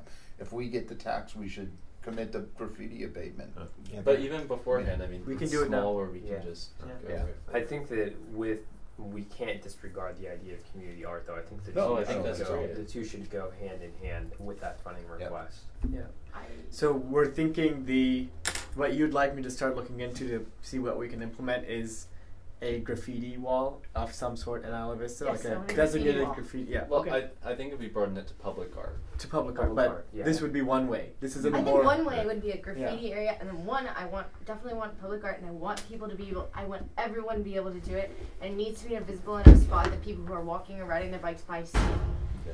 So also- how how can I just ask a question? So graffiti wall is one way to have public art. What are other ways so we can like look into more specific needs like Uh, well, murals in different In the redevelopment agency, you know, we did all the facade improvements, so if you say a facade improvement could help remove graffiti by, you know, putting up timber or something, you know, I think. for private property. You mean? Yeah, you know, well, it was public-private partnership. We Right. usually combined with the private entity and we, you know, where you would have a blank wall, Yeah. you might put up a facade and Yeah. people don't paint it then. Is it- That's one of the cool Bob, things really up in quick. Lompoc where they've got all those historical uh, uh, murals that are there that really tell the story. And one of the things that we don't have here in Isla Vista is a sense of continuity. Um, I mean, there, there, there's a lot that's happened in this town and um, should be memorialized. We So, talked yesterday at our meeting actually about creating kind of like an IV museum kind of Yeah. thing. Oh yes. And I yes. thought that would be such a really cool, not Yeah. just as an exhibit, not temporarily on the third floor of Okay, the we're library. good? And? Jay's gonna give us a two-second rundown of what we've never got accomplished? Or yeah, didn't get in yeah, our let's service move on plan? to that.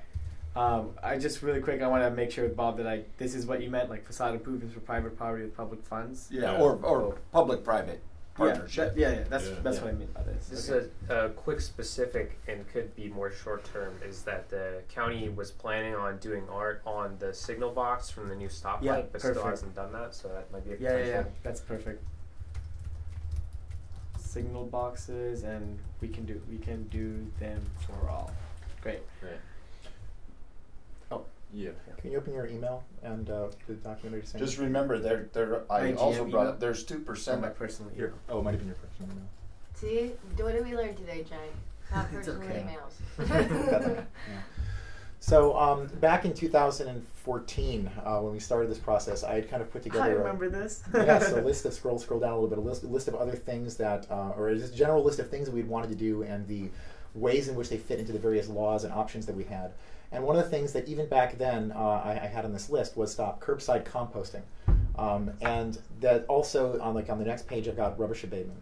Um, the, every, every one of these kind of general meetings that we end up having, somebody shows up and talks about trash issues. Trash, whether they're yeah, talking yeah. about Trash is a good idea. yeah, whether they're talking about broken bottles on the No, street, I- or they're I talking totally about agree. Trash litter. is- Yeah, um, We should, you know, the only time you saw a county come here and talk on trash is when you threatened to take over the service from them. Yeah, And then and- since then, they haven't shown back up. Yeah, and in So- fact, at that meeting, um, there was there was a letter from uh, um, from Matthias talking about how the county was really proactive, working on composting issues. Well, I went to the first meeting of E Coalition this year, and uh, the you know the school year, and at that meeting they were saying, and so the county promised that they were going to be proactive about these issues. And in fact, the county did nothing. So we're having to start over from scratch, and this time we're ignoring the county entirely.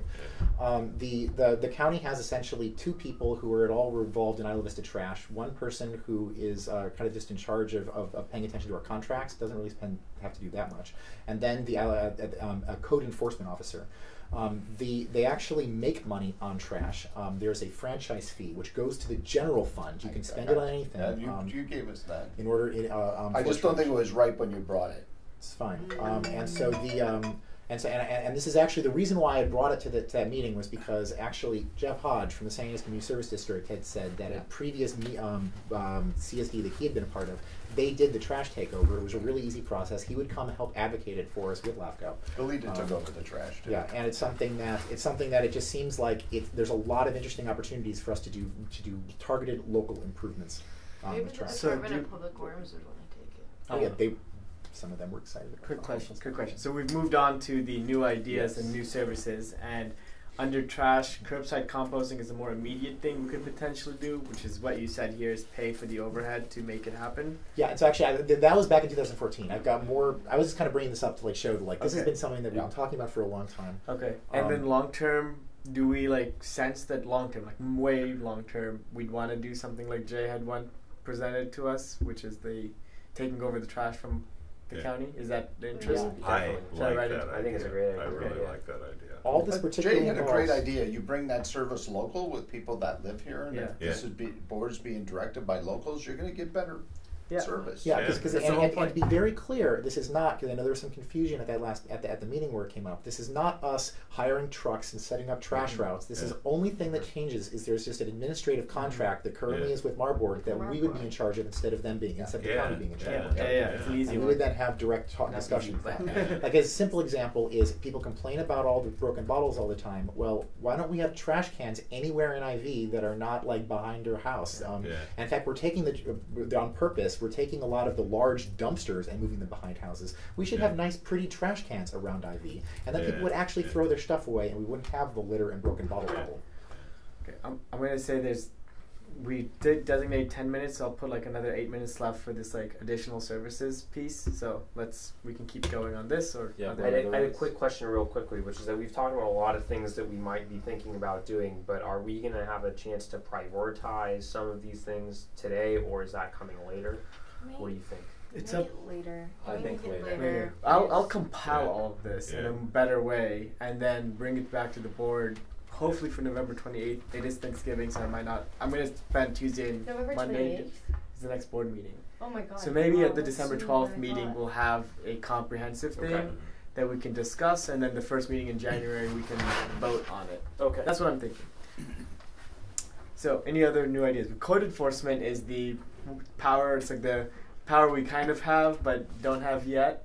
Um, what do we? Is there any thoughts on that one?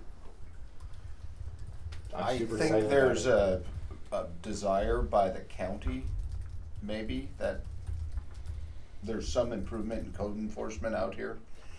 I, I think from the county's perspective, I think maybe the board, and at- at least Joan and Gina, think there's lots of room for improvement of code enforcement in IV.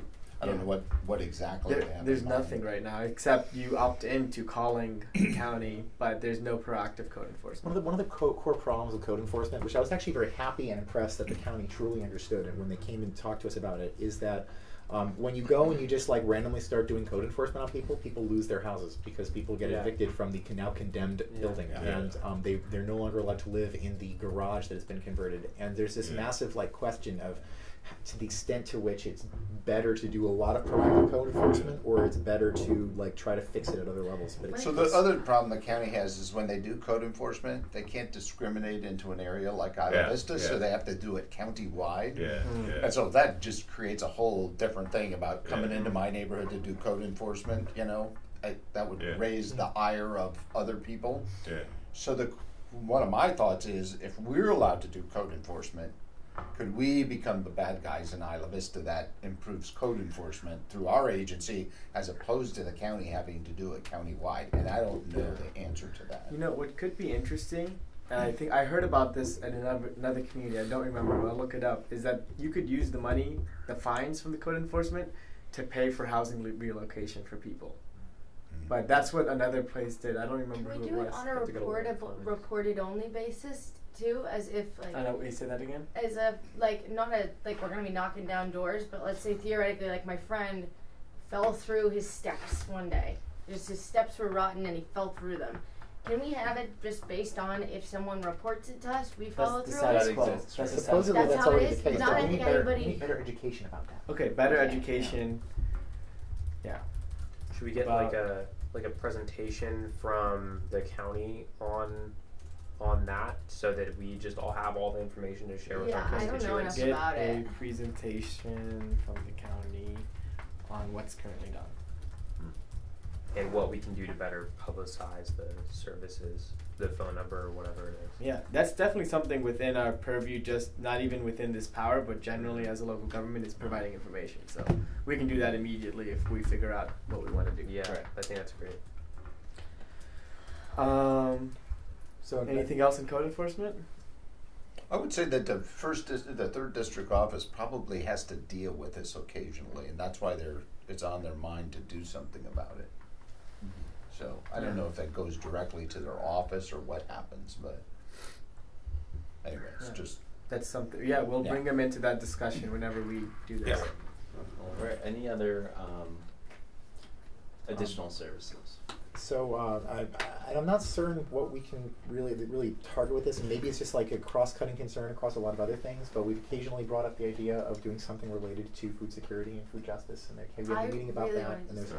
UCSB is running a meeting in a few weeks about this, um, about relation to IV, and I, I, it'd be really awesome if we could do s- something. But I don't I don't know what it is I yet. think About what? Food security? Food security issues.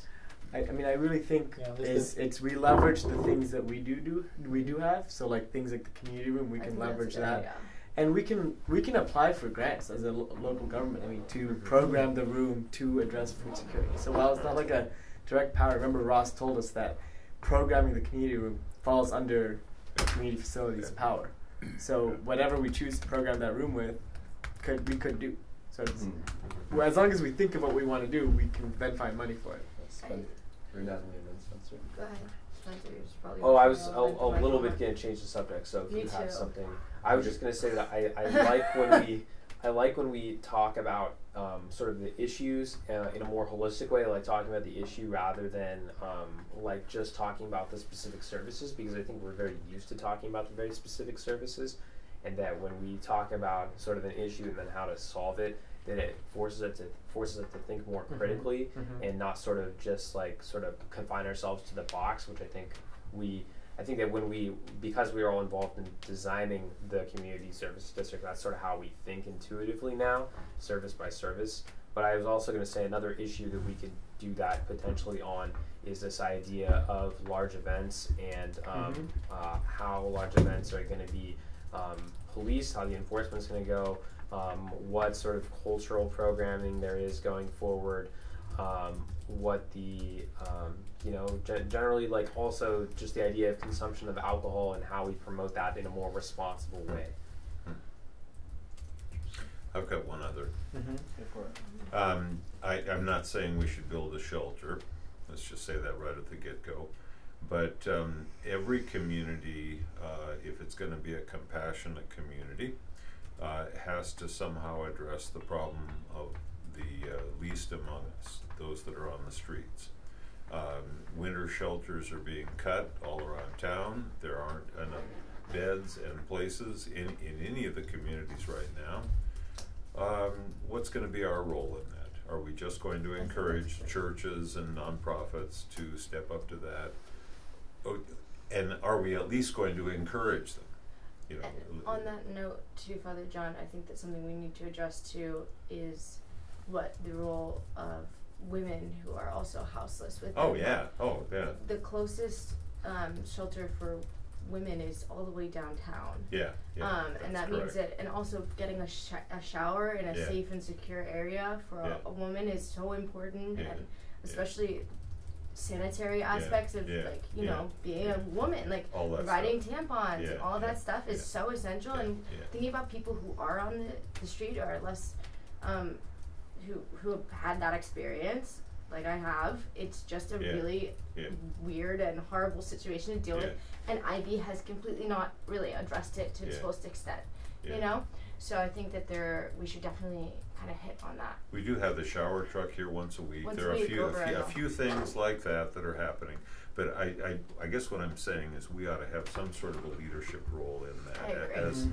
the mu- municipal body for this community here, we ought to be taking a lead somehow. Are people still being dropped off in Isla Vista as a Not really. get out of jail card? N- Oh, no, no, not Oh, really. If, if anything, we're sending people elsewhere. Um, you know, I, I've housed quite a few people downtown. Um, um, anyway, the, uh, people aren't being dropped off here. And is the population changing down Uh, here? the, the population, uh, has been hovering kind of around the same number that it's been for decades. Decades, Yeah, okay. yeah, despite the fact of the recent count. I think this might be a good thing for us to at least, you know, think about doing something quickly on, just as the winter months are coming up, and I know yeah. that um, deaths in the homeless community go up by a lot during the winter months. Yeah, yeah, look at the wall in my office sometime if you wanna Yeah. get a picture of that. Yeah. The last thing I really want to hit on here, which doesn't have to do with any of our services, is the way that we brand ourselves to the community, which I don't think we really talked on, but that is the long-term plan. Is unless people know about our long-term plan, it doesn't exist. Yeah, And perception of our board is the reality of how it's Yeah. going to be Yeah. portrayed within our community. yeah, So I think that really making ourselves accessible is super important. Not just having a town hall to say we had a town hall is important. You know, like really making sure that we are Yeah. branding ourselves to the community in a way that makes us representative of that. yeah, I think is something that we should keep in mind moving forward. And I don't think that we sh- we should be shy when it comes to social media, yeah. marketing yeah. ourselves over Yeah, the internet, hanging things up in Starbucks. You know, like I don't want our agenda just to be hung up here because it's a law. I need it all over. And also, translation services are such a priority for me, and I really want to hit that on there. Is some getting translation services of our documents and our website is a really big priority for me. And so that's just where I kind of wanted to. I'm excited now that we have Jonathan because that was something that was really difficult as board members for us to try to maintain a social media presence because of all Yeah. sorts of ground activities. Yeah. But Jonathan's been able to actually start putting stuff together. Yeah, and we just uploaded a well album at our open house the other day. I saw that.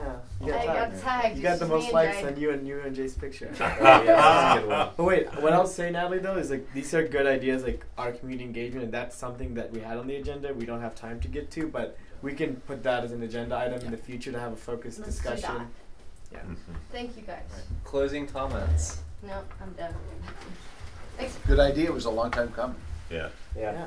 I think we still need a motion to. You guys adjourn. came to my office a long time ago, here, here's our plan. Yeah. All right. Um, if there's no more comments, uh, is there a motion to adjourn? Oh, that's my job.